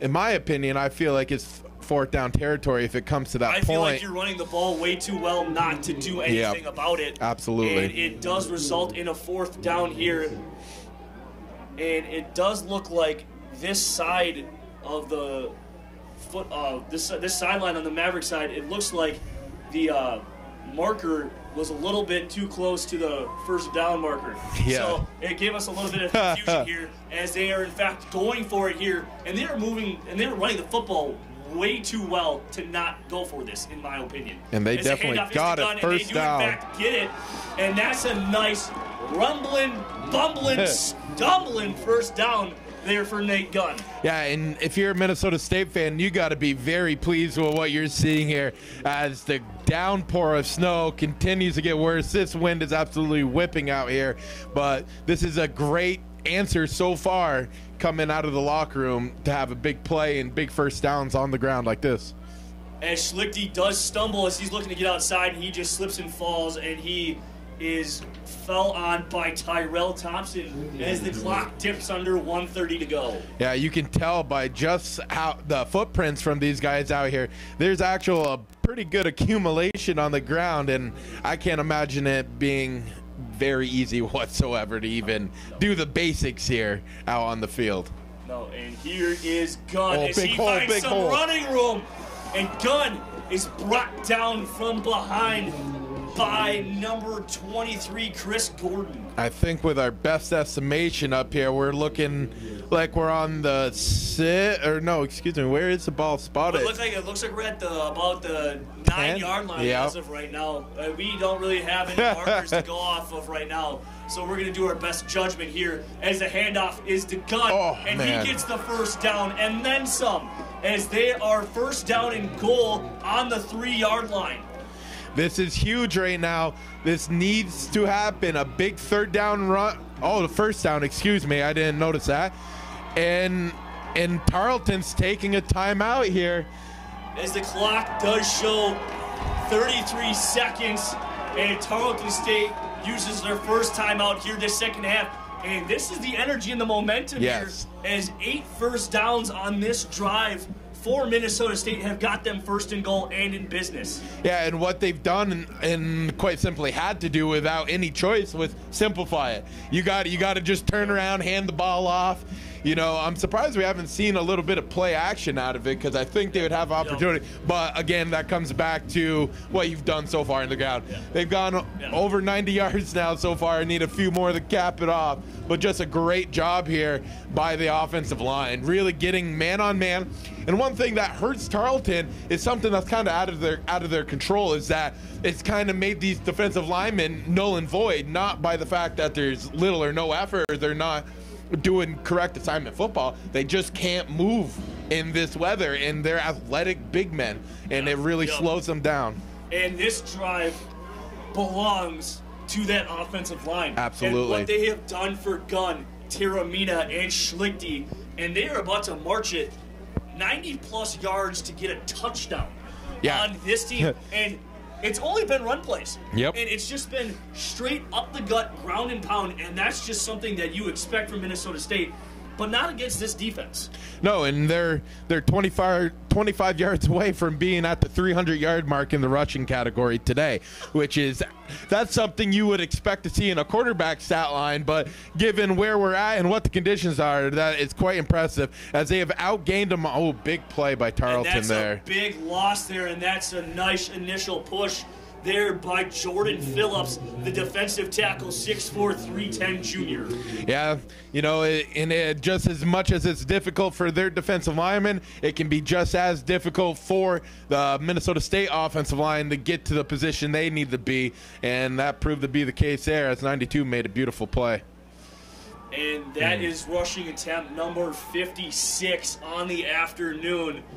And as he looks to gain about one, and that puts Minnesota State at 272 for the game, and that's a timeout, or excuse me, at the end of the first quarter or third quarter here at the Blake. And this is a game, or actually a quarter, that was completely dominated. And if you're the Tarleton State defense, you got yourself about three or four timeouts there for measurements, and you caught your breath. But that wear and tear on that ground game is remarkable. Yeah, it's very, very, very difficult to defend. And um, I was surprised that Minnesota State had such a great defensive series there on that first one that caused a quick three and out. And you got to finish here, you know. It had a little bit of a letdown there as big number 92 for the Texan defense. Jordan Phillips made one heck of a play there to really make it difficult now. And I don't know. Do you try a little play action pass here? Because you know the pass rush isn't going to be what it is just simply because of you can't get going as fast or excel as fast as you have been. I don't know. I'd be willing to almost consider it strongly here, but it's four down territory here. It's third down on the six, and you got two plays to get six yards essentially. So you got to get it done right here. This is the start of the fourth quarter, and no points have been scored, but they're knocking on the door again. This is the second time they've been inside the 10 and so far have came up with absolutely nothing in the scoring department.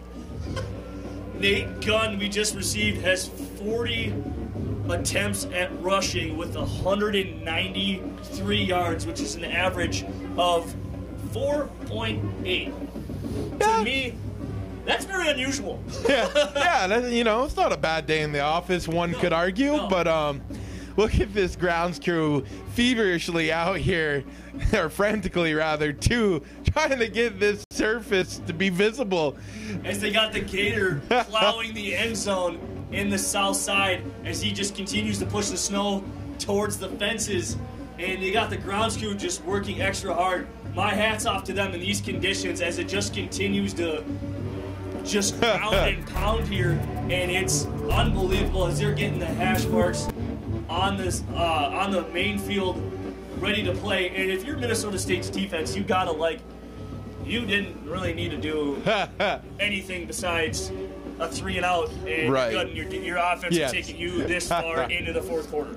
Yeah, you know, and the thing about it, these 10 points, that's really not a bad job by a defensive unit overall. not at all. And, you know, not to discredit the scoring play they had there on the Yep. pass to, to um, Zamari is they got beat on one big play. And, you know, that's football sometimes Yep. in a nutshell is not giving up that big play and, you know, somehow limiting that. But quite honestly, this needs to happen right here. If they don't score, it just exponentially gets difficult for the Mavericks going forward. As I'm sure Tarleton will look to kill a bunch of clock when they get the ball back themselves. as it looks like it is the ball is on the six yard line as they continue to plow and just shovel this side of the field. And they're working on the yard lines here. And it's just they're starting to kevin Buisman is just waving them off to tell them to get off the field because they're about ready to start play. And there is literally about a half an inch of snow down on the ground over here. And it's quite remarkable that the footing of these football players is still intact. Yeah, I don't. I honestly don't quite know how they're doing it, but they're all Division two high level athletes here, and they're doing what they can. This is this is huge here. This is a big third down and goal here for Minnesota State as they, we are waiting the signal from the referees. And as you take a look here on the sideline of both sides, pretty much, uh, what would you say, about 88 to 90% of them are still wrapped up in their jackets, trying to stay warm and take it off. But I don't know. I'm looking at Jack Curtis, and he's making me warm just sitting there watching as he's got a little area stomped out here on the sidelines just for himself from where he's been jumping, just trying to stay loose and stay warm here in the Mm-hmm. Here we go. tundra. And here's the handoff to Gunn. Gunn runs into a sea of white, and he's pushed back in. That's a gain of one, fourth down and goal. All right, decisions, decision, decisions. Looks like right away, no hesitation by the staff, leaving the offense out there. Mm-hmm. And I think this is could, could be a real make or break. I mean, you're leaving points if you don't get this Yep. on the on the board. You're just absolutely doing whatever you can not to do it. I mean, you had yourself in your defense. The last three possessions for Tarleton State have been three and outs. Right. And to me, you have so much faith in your defense, but you're also showing a lot of faith in your offense here to get this done when you have all these weapons. But do you try a little crossing route? What do you, I mean, what do you what do you think here, Jordan? Don't know. They are gonna. They are running the slant, and, And it's a fade to. What a catch! And that's a What a nice catch! As he was falling down, Shane Zylstra has his sweatshirt ripped Huh. on the arm just to show how much of a hold he was getting. And that is a heck of a touchdown Wow. by number 84. Well, you know, if he was getting a game check, there would be a big bonus there for making a big play at a big time. Unbelievable job. But now, hold the excitement a little bit because this extra point is huge as you got some of the big guys with their size 13 plus cleats trying to clear an area here. They got 18 seconds to do as best as they can. And here we go. This is a huge extra point attempt that will make it a one possession game if Bednarski is able to bang it through. As Carter Dowdle and Trevor Nissen were there Yes. to help Bednarski. As that extra point is good. And it's 10-7 as that Tarleton State lead is cut to three. Unbelievable job there by the Maverick offense. No trickery.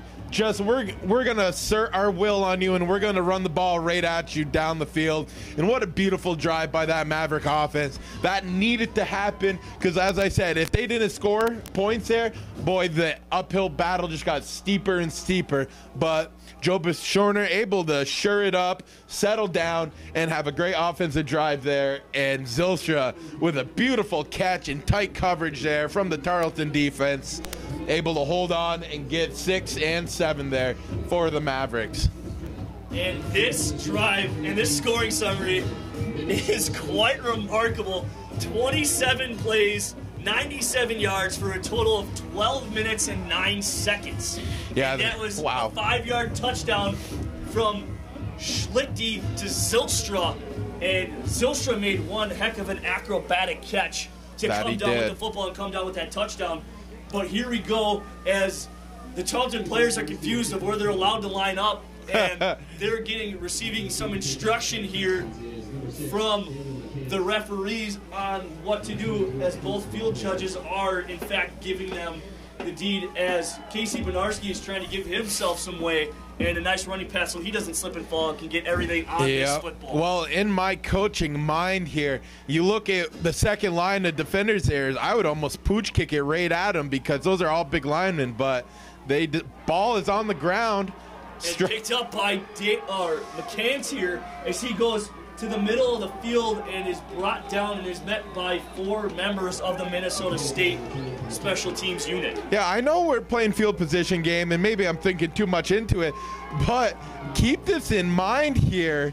Uh, they had three defensive linemen on the second level of that, and I would almost going forward, if it, if it comes to that again, chance that because I don't think they can move quite well as some of the elusive backs and receivers for Tarleton can. Well, that's the second time we have seen McCants muff a, Yep. a punt return or a kickoff return. So, I mean, I don't necessarily see it, but he just had some time to easily pick it up, Right. you know, get some yards as he ran it back for a gain of 17.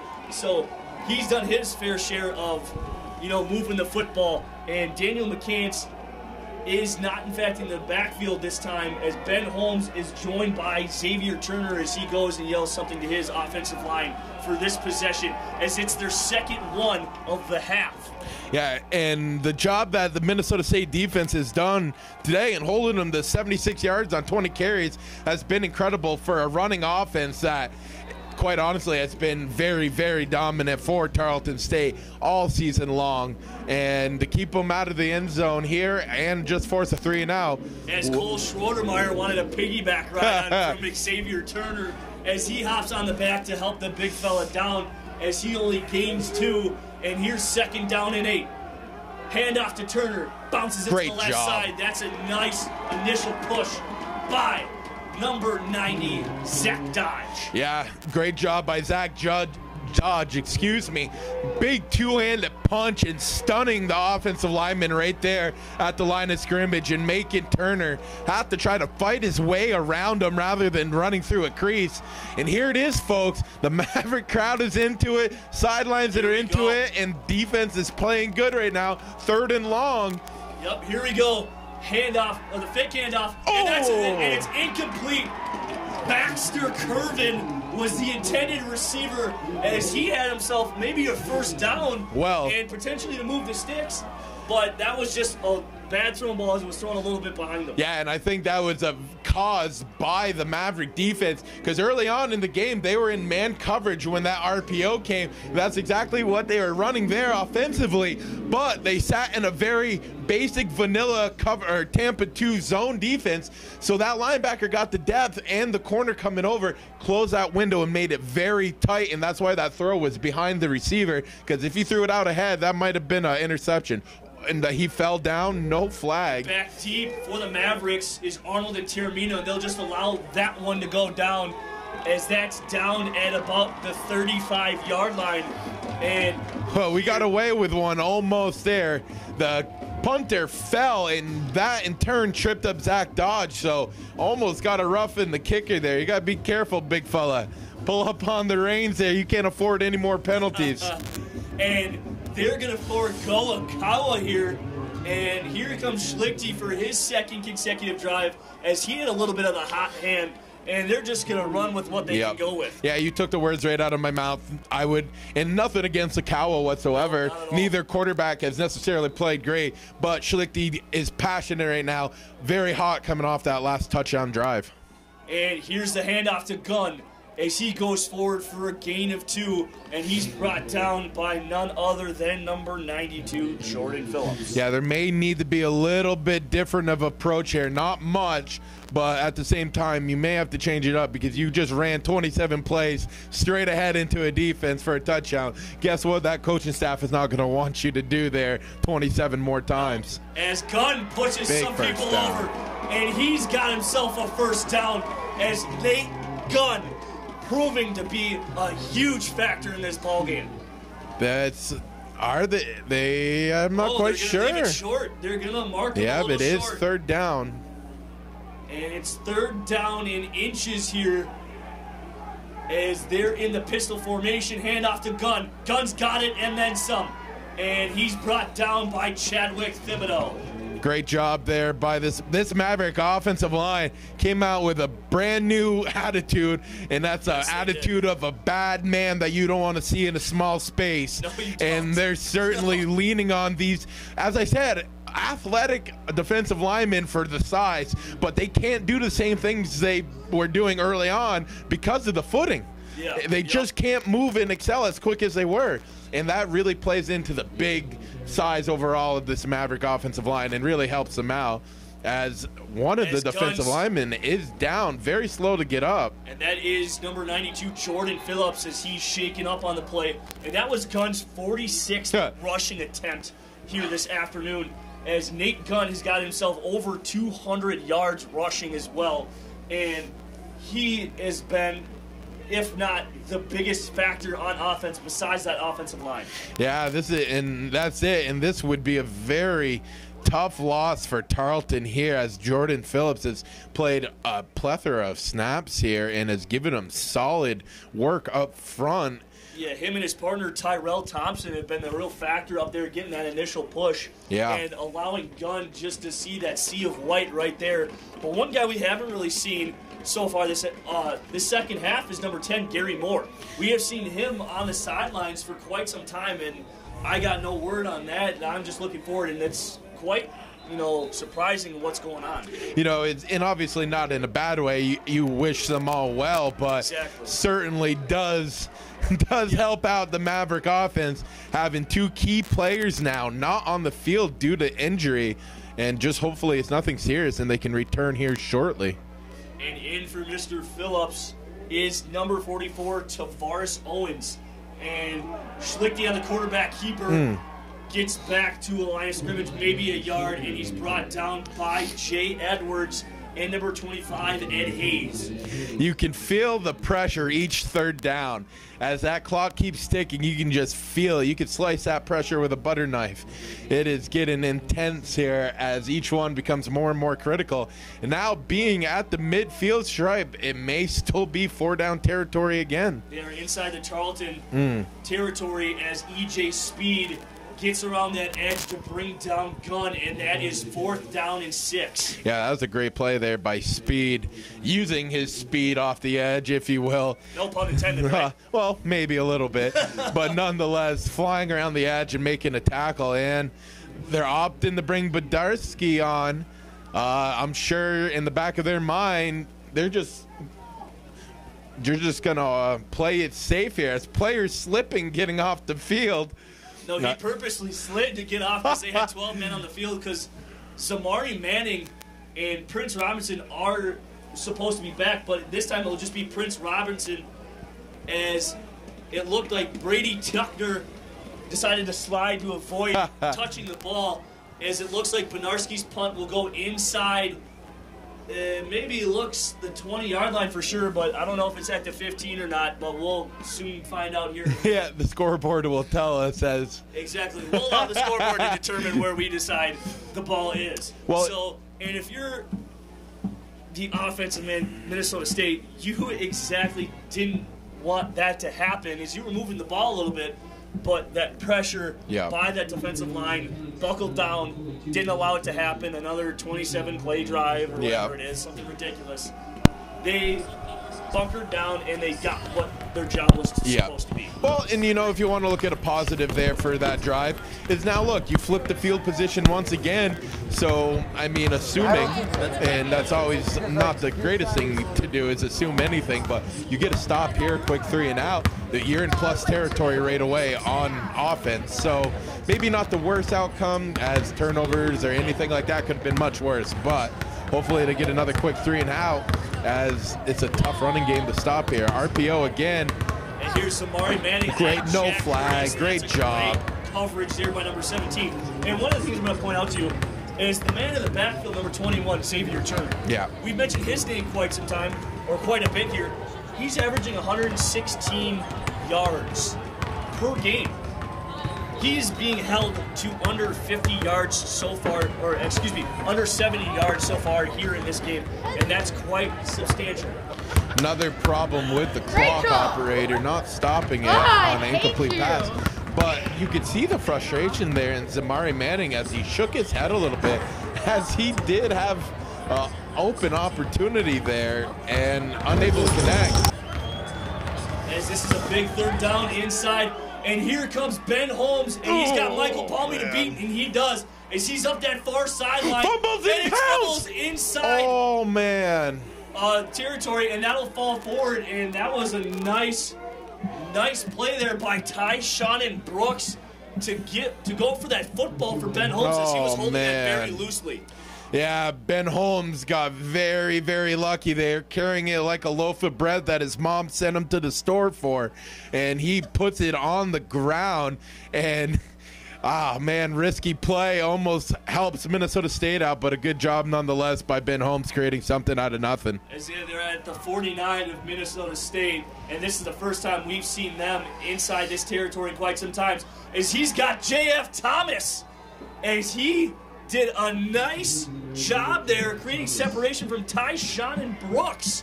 And my goodness, as they got something cooking. Yeah, they found a little something here on the edge. Pass protection doing very well for Tarleton on this drive as they've thrown it three times already. And they're at the 25 of Minnesota State, and here's Xavier Turner, and then again, right up there in front is Zach Robertson. Yeah, I think they realized they're getting a little bit thwarted there in the run game, and that's where Minnesota's teeing off. But now we got to see what these young secondary players can do here.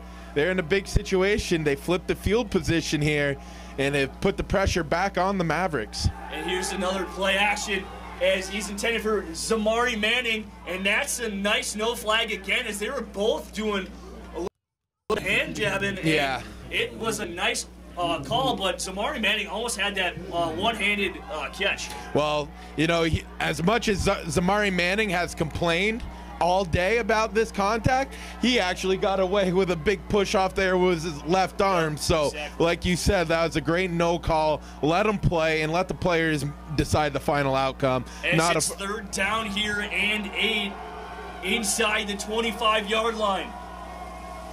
Handoff to Xavier Turner as he's got some room, and that's a nice tackle by Cole Schroedermeyer, just shy of that first down marker, and it looks like he'll be a little bit short, and they could literally stop the uh, clock here.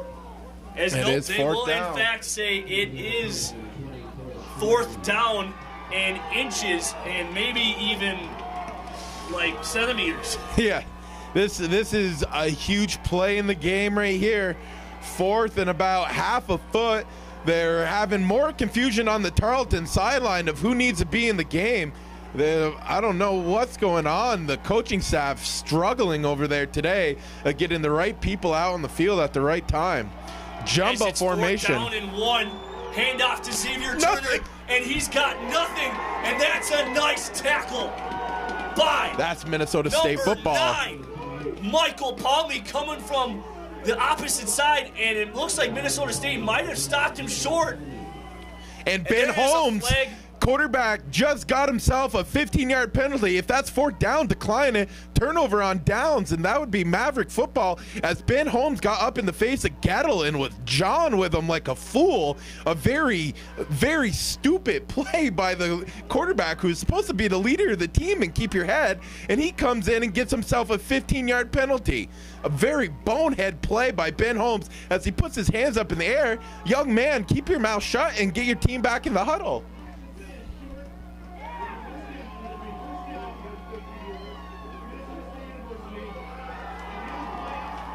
And this play will be ended another 15 yards. And you can see head two. coach head coach Todd Whitten letting Ben Holmes know how bad of a play that was of him to get up there and get involved in that. as that 15 yards goes in heavy favor. Yes. As that is a big swing in field position. As the Minnesota State head on the 20, they'll now get it at the 35. Yes. And that's a huge 15 Huh. yards as Todd Whitten Not happy. not happy with his captain there. Yeah. And Ben Holmes my goodness, you are a you can't make that. quarterback, and that's a mistake Yep. that could uh, they could cost them. But let's see what this Tarleton State Yeah. defense does as they forced Minnesota State last drive to punt after coming off that big 12-minute drive. Let's see what happens As here. Gunn slips the handoff to Gunn as he goes Okay. forward and gets maybe back to the line of scrimmage, maybe just short. Yeah, let's see this offense. They need a little bit of different of a wrinkle as Taramina checks in for Gunn. You know, they had success on that big long drive there, but now Tarleton has been able to come and find an answer and slow down this straight ahead run game.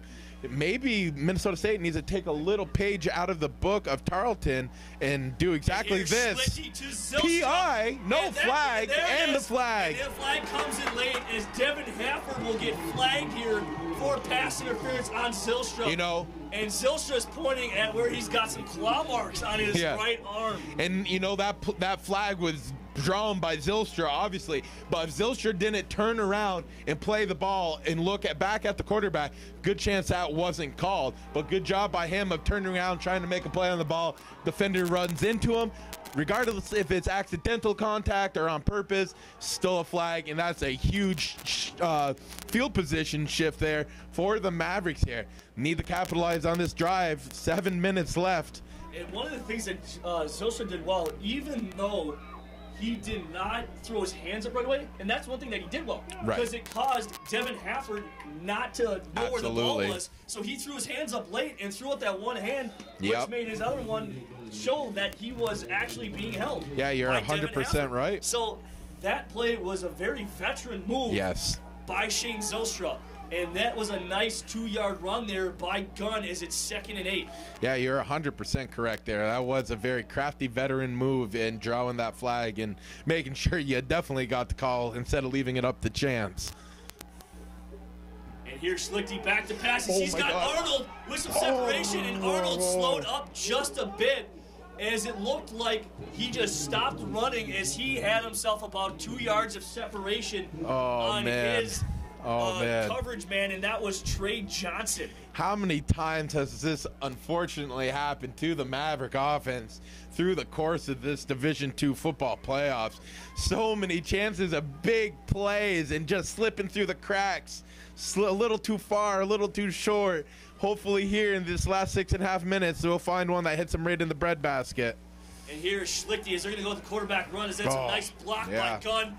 But the huge length of EJ Speed trips up Schlichty, and that's a fourth down and seven. Yeah, that's a great play by Speed because he had a chance to get to the edge. And you can see a little bit of frustration on Justin Arnold's face of not coming up with that. And we will see another punt from Bednarski. Is that could have been a 20 plus yard gain by Arnold. And here we go as the clock tips under six minutes to go in the game. As that's a great punt by Bednarski as it goes at it looks like the 12 yard line. They're going to spot it.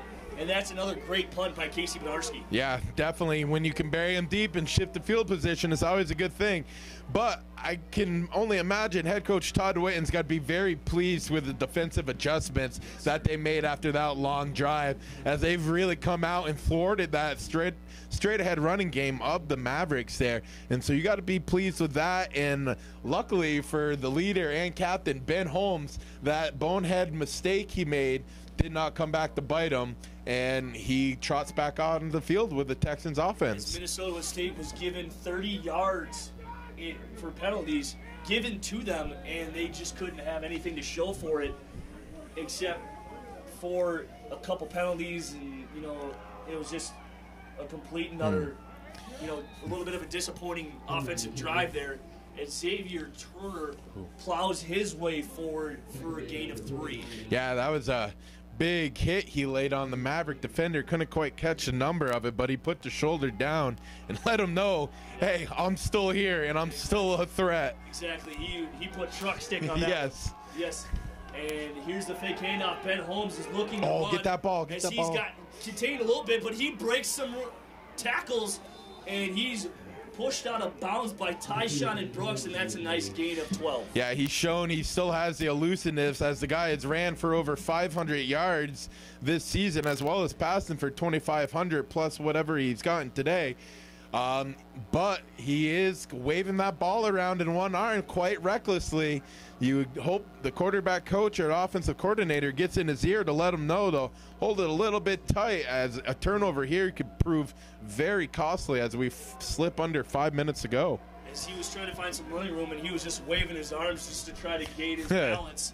As here's Xavier Turner as Parrish Morrow comes up from the secondary to get that tackle.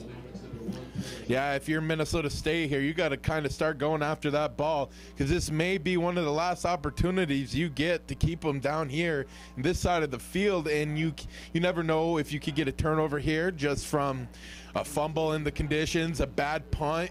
You never know, so you really need to stick your chest out here and make a big play and keep this field position as they're gonna let this clock get down as far as possible each snap.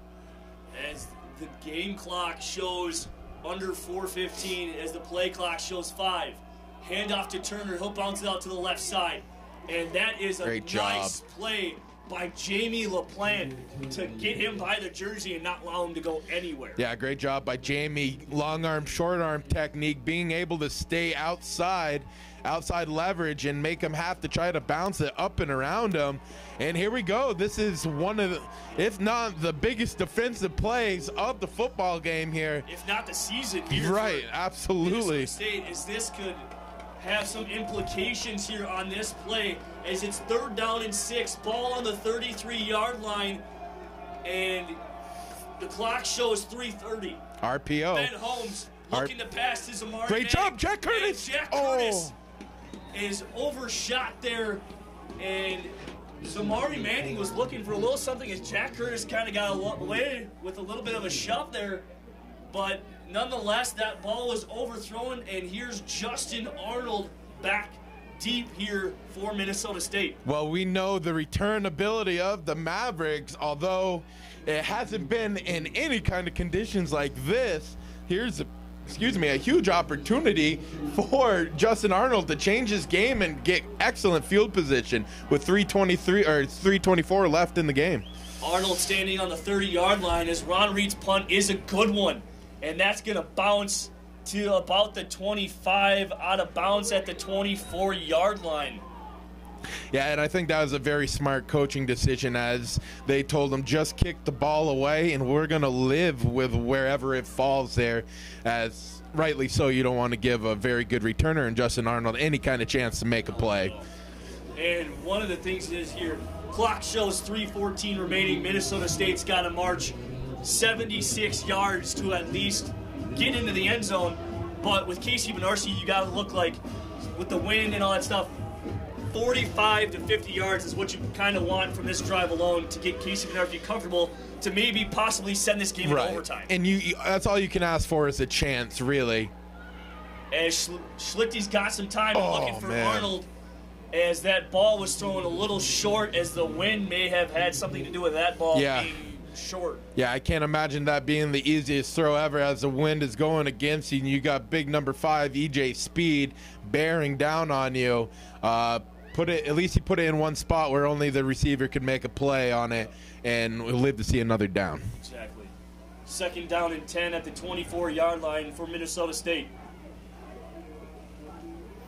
Gunn gets the handoff. Oh, go, it, a go, tackle. baby. Gunn. Oh, has my God, oh, my God. And he is loose down the sideline. Here's Nate Gunn as he's in business.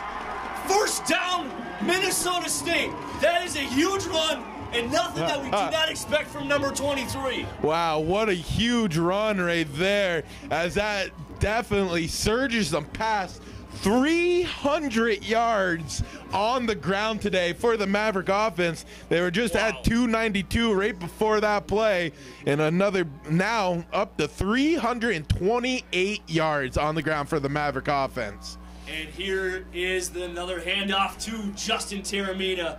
He's wrapped up and thrown down aggressively by number 45, David Fangupo. Yeah, that's a big man coming up and making a big stop there, creating a second and long here. Fangupo is, like you said, a man at 6'2", 380. Yeah. He is a load. I I probably wouldn't want to try to block him at this point in my life. What? You're talking about you're in some great oh, shape. I want to go that far. Oh my God. has got Arnold, but way overthrows his receiver yet again. I, I, you know, I get the conditions. I totally get the conditions here at this point. But man, one of these quarterbacks has got to make one of these throws. So many opportunities alone in this game again, where you just put one on the money and it's game time, but unable to connect.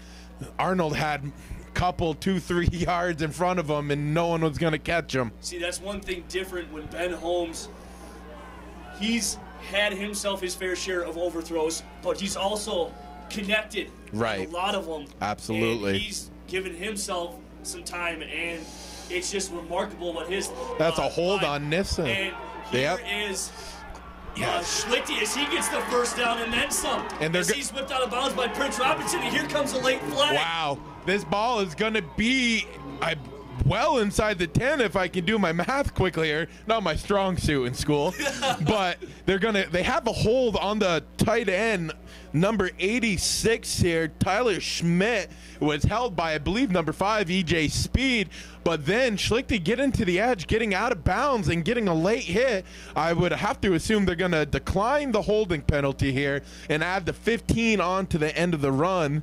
If I am thinking logically here as a football coach, I believe that is the ideal situation that you would want here, and I think that's the case if that's the actual call over there As it was on the on defense. defense.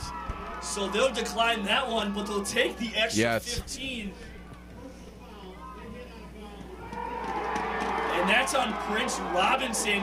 Is that is another mistake that could cost Tarleton here as they're throwing Minnesota State right near the goal line. Well, it's kind of a kind of a flip of tails of the two halves here. it The. Minnesota Yes, State has. was making those kind of mistakes and having those penalties in the first half, and now Tarleton having some lapse in judgment there. As Schlichty was clearly heading towards the sideline, he had no intent of going any further after he scampered for that first down. Now here we go, a number one team in a championship scenario to keep their hopes alive. Everything's four down. Ter- well, let me take that back before I.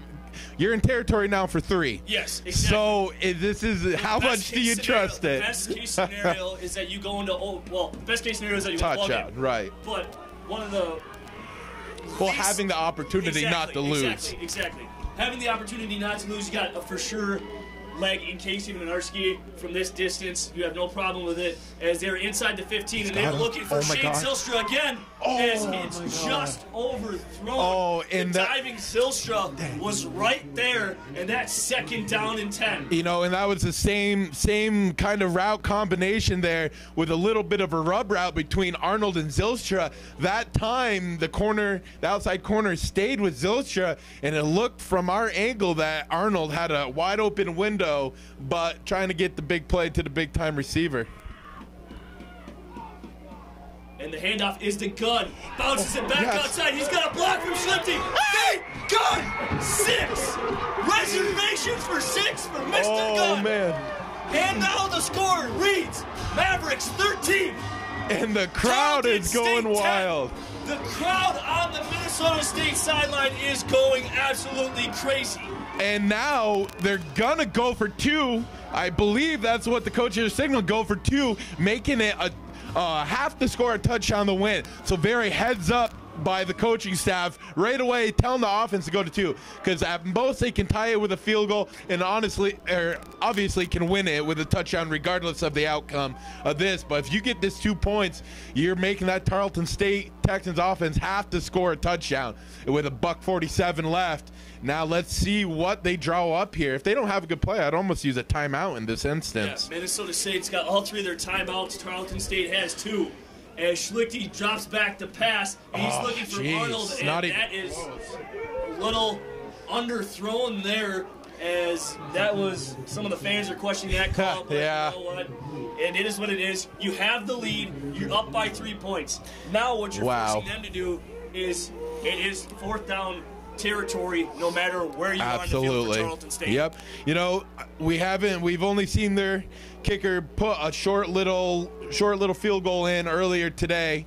Uh, don't quite know the range of them as I did not get to see them during pregame warmups. Um, so that's kind of up in the air what the range of their kicker has here going forward to get in a tying position if need be.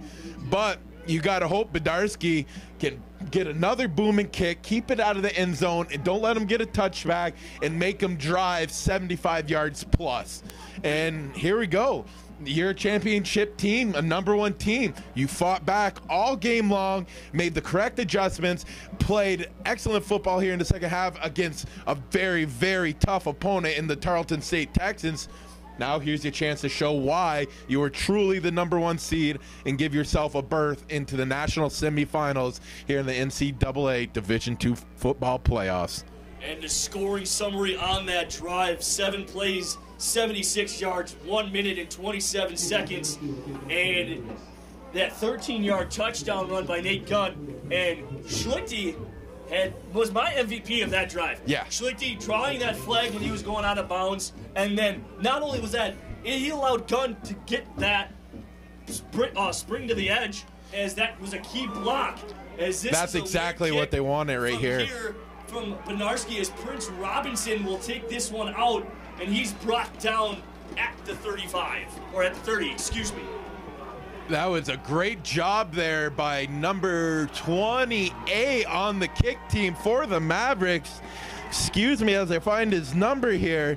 Lucas Barrington. He did a great job of keeping his outside shoulder free and forcing the return man to stay inside. And here we go. Man, my heart's racing, Brian, as if I'm out there on the field right now. The excitement and enthusiasm on both sides of the field here. Here is playoff football at its finest. One drive, one chance on both sides to end it all and send someone home packing happens right See, now. my heart's just racing because I'm cold. there's, a, there's a and a sack by the Minnesota State defense. And here is number 98, Chance Bowen. Zach Dodge. And number 42, Jordan Bergeron, as that was huge to start this drive. And I thi- as the clock goes under, um, and it gets stopped, excuse me, a Timeout minute by Tarleton. ta- timeout by Tarleton. And that was huge. And the first time they've got to Ben Holmes so far this afternoon. Yeah, I think Ben Holmes made a bit of assumption as he's had very good success in stepping up in the pocket and making something out of nothing all day. But a good job by the defensive line coach getting in the ear, telling the two D tackles, hey, you got to stay home. We got to collapse the pocket rather than trying to get to him, if that makes sense. You got to keep them in front of you. Don't let them get on the outside and beat you. And here we go. A minute 30 left. Second down and 11. This is a chance for a number one team to shine right here. And here's Schlichty, Arnold, and uh, Trevor Nissen alongside Shane Zylstra as they're all taking a knee here and joined by JD Ekowa. Screen. And here's a screen pass. Ball dropped. As it's dropped and incomplete. Zamari Manning was already having going downfield on his mind rather than just catching the ball. Yeah, I don't know if they've lost. It seems like Tarleton here over the second half of this fourth quarter has lost a lot of mental composure here and making very ill-advised mistakes. Maybe the weather and the loudness of this Minnesota State crowd setting in on them. Nothing over the middle. is Ben Holmes as And another soul, Oh, and man. Zach Dodge just misses a sack, and here's Ben Holmes as he's got some room as he gains 18 on that first down run. That's a nice run and a nice first. And that's what we were talking about. Ben Holmes doing all day, being able to make something out of nothing right there, and being the leader and maybe making up for his mental mistake earlier, able to get something going for this Tarleton State offense. And that was a nice play by Zach Dodge to come back and almost getting Holmes, as Holmes has got all day. Oh! And it's right behind, throwing behind number 18 is Savon Rollison.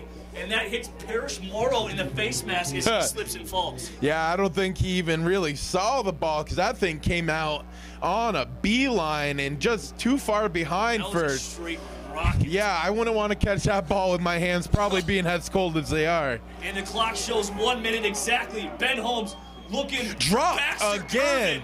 And that's another drop by a Tarleton State wide receiver.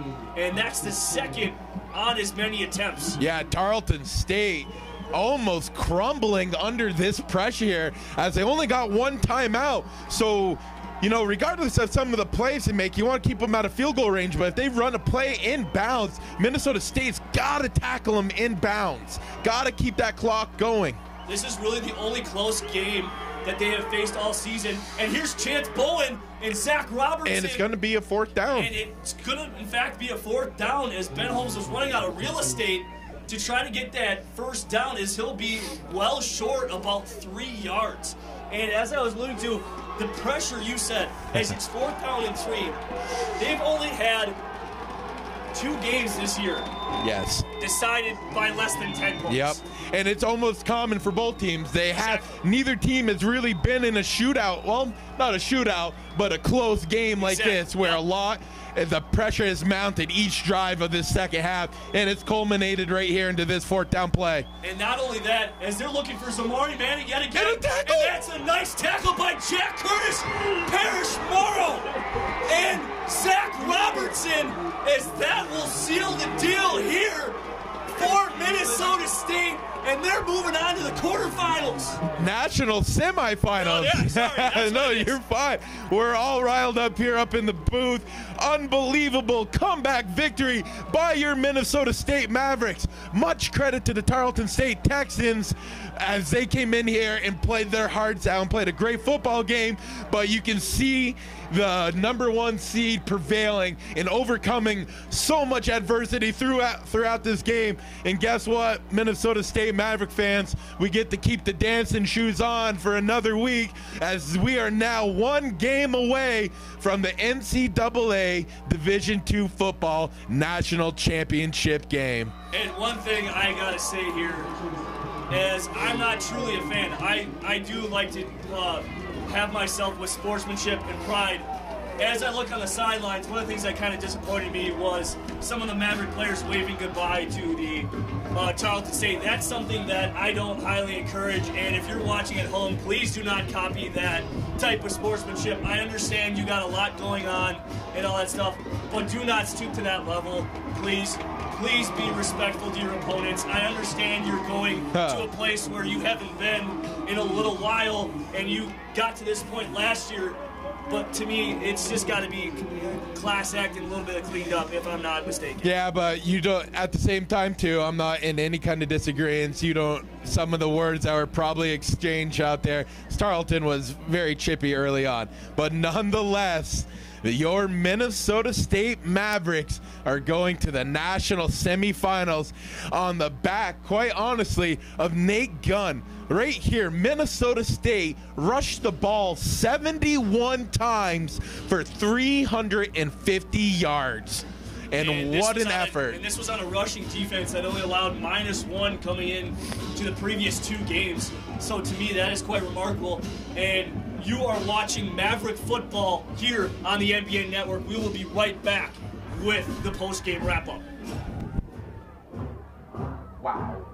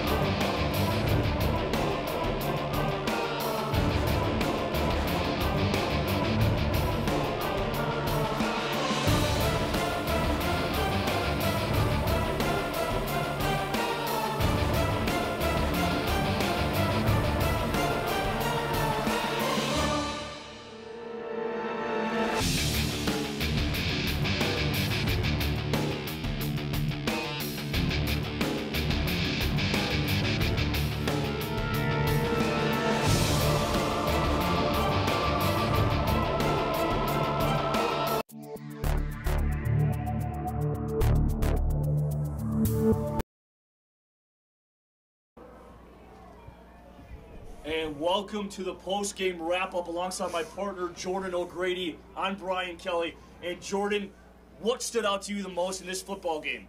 Well, you know, the fight to overcome adversity by our Minnesota State Mavericks in a dogfight, playing from behind all game long. And, you know, you could feel the enthusiasm and pressure of uh, Ryan Schlichty. He almost willed this team to victory. And then on the ground with Nate Gunn, impressive, impressive performance by Nate Gunn as the Mavericks rushed the ball 71 times for exactly 350 yards today. Unbelievable second half effort. Overcame a lot of bad plays and mistakes early on in the first half to come in and finish off what they had started early on in the second half. You know, but defensively, you got to be very, very pleased with number 17, Jack Curtis. Faced with a difficult challenge all day against Zamari Manning and uh, FP Thomas, excuse me. JF JF J- Thomas. JF Thomas, excuse me, I apologize. But that's no small feat to come out here as a backup corner and make the plays he did all day, causing disruption in the passing game, overthrows, and just balls that couldn't quite possibly complete it. All around, it's only going to get tougher from here, but this Maverick team has proved to be built for the long haul, and now they are just one game away from playing for the whole kit and caboodle. And I think they got the tools necessary in place to do so. Quarterback play still wasn't necessarily the greatest, but did just enough late in the game with that beautiful ball to Zylstra. More so, a beautiful catch, too, by him in the corner of the end zone. So the Mavericks prevail, not without much adversity and a lot of uncharacteristic mistakes early on in the game. But nonetheless, they found a way to seal it off with a Nate Gunn run to the far side of the end zone to go up 13 10. And then that defense came back and made play after play in that last drive and sealed the deal for your Mavericks. And of course, when the game's over, so does the snow stop. Yeah. and it's just amazing how that works. And when we're taking a look here at this, the whole game and momentum shift was due to that possession time Yeah. for Minnesota State in that third quarter. They held the ball for 11 minutes and 15 seconds, 16 seconds roughly. Yep. So to me, that is something quite remarkable as before the 10 minute mark in the fourth quarter, Tarleton State only held the ball two times in the second half. Yeah. And they were all three and outs. Yep, and that and that Minnesota State defense, and we talked about it there near the end of the game. It was a great job by the defensive linemen of staying in their lanes, not getting pushed out of position or getting too far upfield, because we knew the athletic ability of court, number two quarterback uh, Ben Holmes for Tarleton State. He had the ability to move in the pocket, get outside, and create things on his own. But the great job by the defensive coordinator Jim Glogowski and the whole entire Maverick defense of able to come back absolutely shut down that run game of Tarleton State that going into the game had been electric. Yes. You know, both two backs over a thousand yards on the season and Xavier Turner in his own right having 22 touchdowns on the ground. And that's a very successful year and much congratulations to them on the success success they had this season. But the better team and maybe with a little luck and a little faith was able to overcome that two possession deficit in the second half and really assert themselves on the ground game. I mean, that one drive, as you spoke of, 27 play drive. And 97 yards and 12 minutes and 9 seconds knocked Yep. off. And you know, in a lot of football games, 27 plays, that's that's half of the total plays an Yeah. offense will run. Maybe and, even and- the first quarter Right, sometimes. Just exactly. And you know they did an outstanding job. The adjustments they made up front, and you got to give credit to that offensive line, asserting themselves and getting after those athletic and big defensive linemen of Tarleton State. And all the credit there to Colin Prosser, offensive line coach here, for having a great week of practice and letting and getting them the information and the technique to be this successful. And Schlichty, you know, neither quarterback necessarily had a greatest day, not their worst day, but the sheer leadership of Ryan Schlichty, I think, was uh, monumental in this come from behind win today, and able to keep everyone focused in in line and working as one solid unison group. So, all the credit to Schlichty there in maintaining and doing just enough to get the Mavericks over the hump. And he he was the one that put that block there on the right edge to put Nate Gunn into the end zone. So and that put the Minnesota State Mavericks up by three, and they went for two, and that came up a little short. One thing I want to hype, uh, hype up is the play of the offensive line in the second half. Yeah. Shutting down EJ Speed. Well, that's kind of hard to do. He got himself his fair share of tackles, but getting to the quarterback is something he don't didn't do when we started to pass the ball. And then Yep. alongside that, uh, Gary Moore, we didn't see much of him in the second half, but we shut him down when he was on the field. And then also Jay Edwards coming up with a pick uh, when Ekowa threw that interception, but from the pressure of none other than EJ Speed. Right. But it was that offensive line that really did come to play and was the difference maker here in this matchup. And, and and that's certainly true, very true. And you know, when you get into the playoffs like this and any level of football, you almost kind of pick your poison, if you will, of what you think is the least the least thing that's going to beat you. And I think today they thought that the elusiveness of Ben Holmes was going to be something that take over, and of course the running game. Yep. Um, they it was well documented to them all week that they knew what they're going to get out of um, Xavier Turner and company, and they did a great job of slowing it down from the very beginning. And of course, the weather definitely played a factor in that and slowing down their elusiveness because early on they were just very patient running the ball and waiting for that backside lane or play side lane to open up for that matter of fact. And they just did a good job of rallying to the football and making group tackles much like tarleton state did that whole first half. But tarleton just kind of lost a little bit of mental stability and a little bit of composure there. A big penalty there, you know, it didn't result in points or anything, but uh, loss of composure there by Ben Holmes and getting that penalty, big momentum swing, and then the late hit out of bounds, you know, all those little things that added up finally at the end for Tarleton State and. And uh, you know it backfired on them, and MSU, being the veteran-based team they are, were able to capitalize all on that and able to get the ball across the white line just enough to get themselves to a national semifinal game. Yeah. Two things I want to touch on before we go. One, you knew Xavier Turner coming into this game was the biggest matchup you had to face on the defensive side.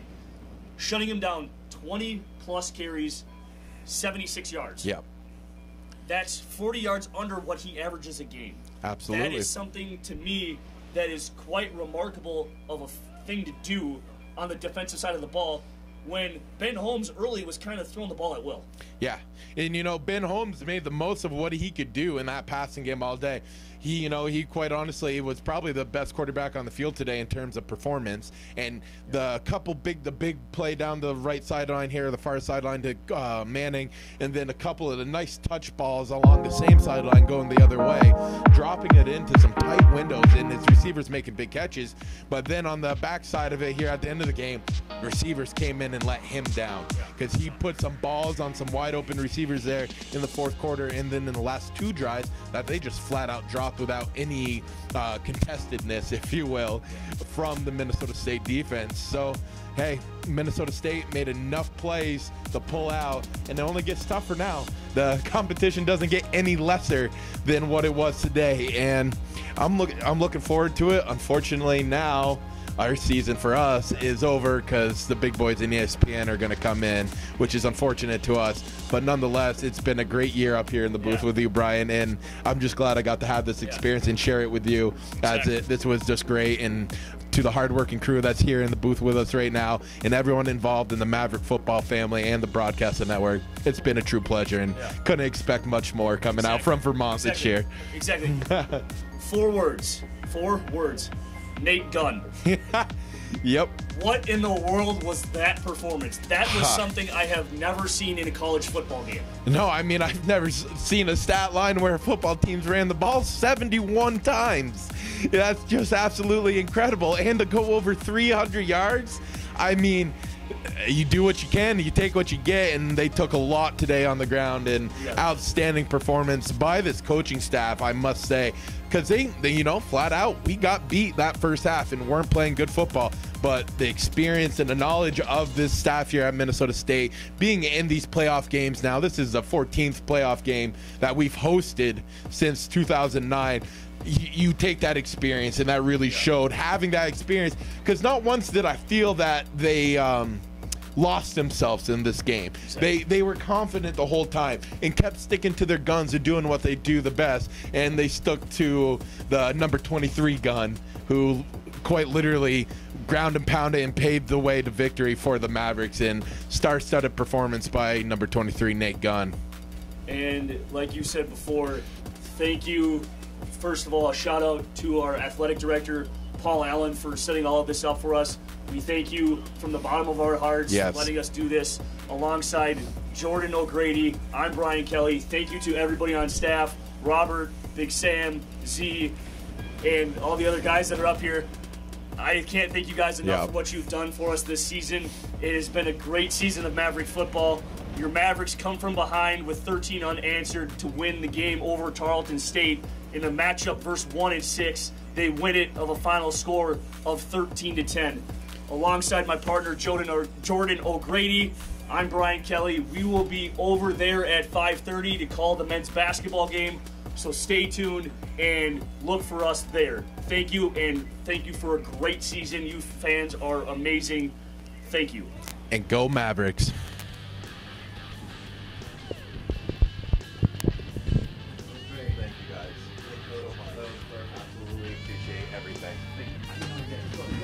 for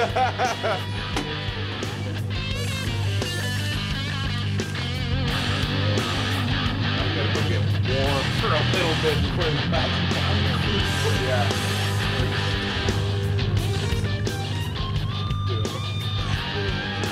We got a have foot of snow in here.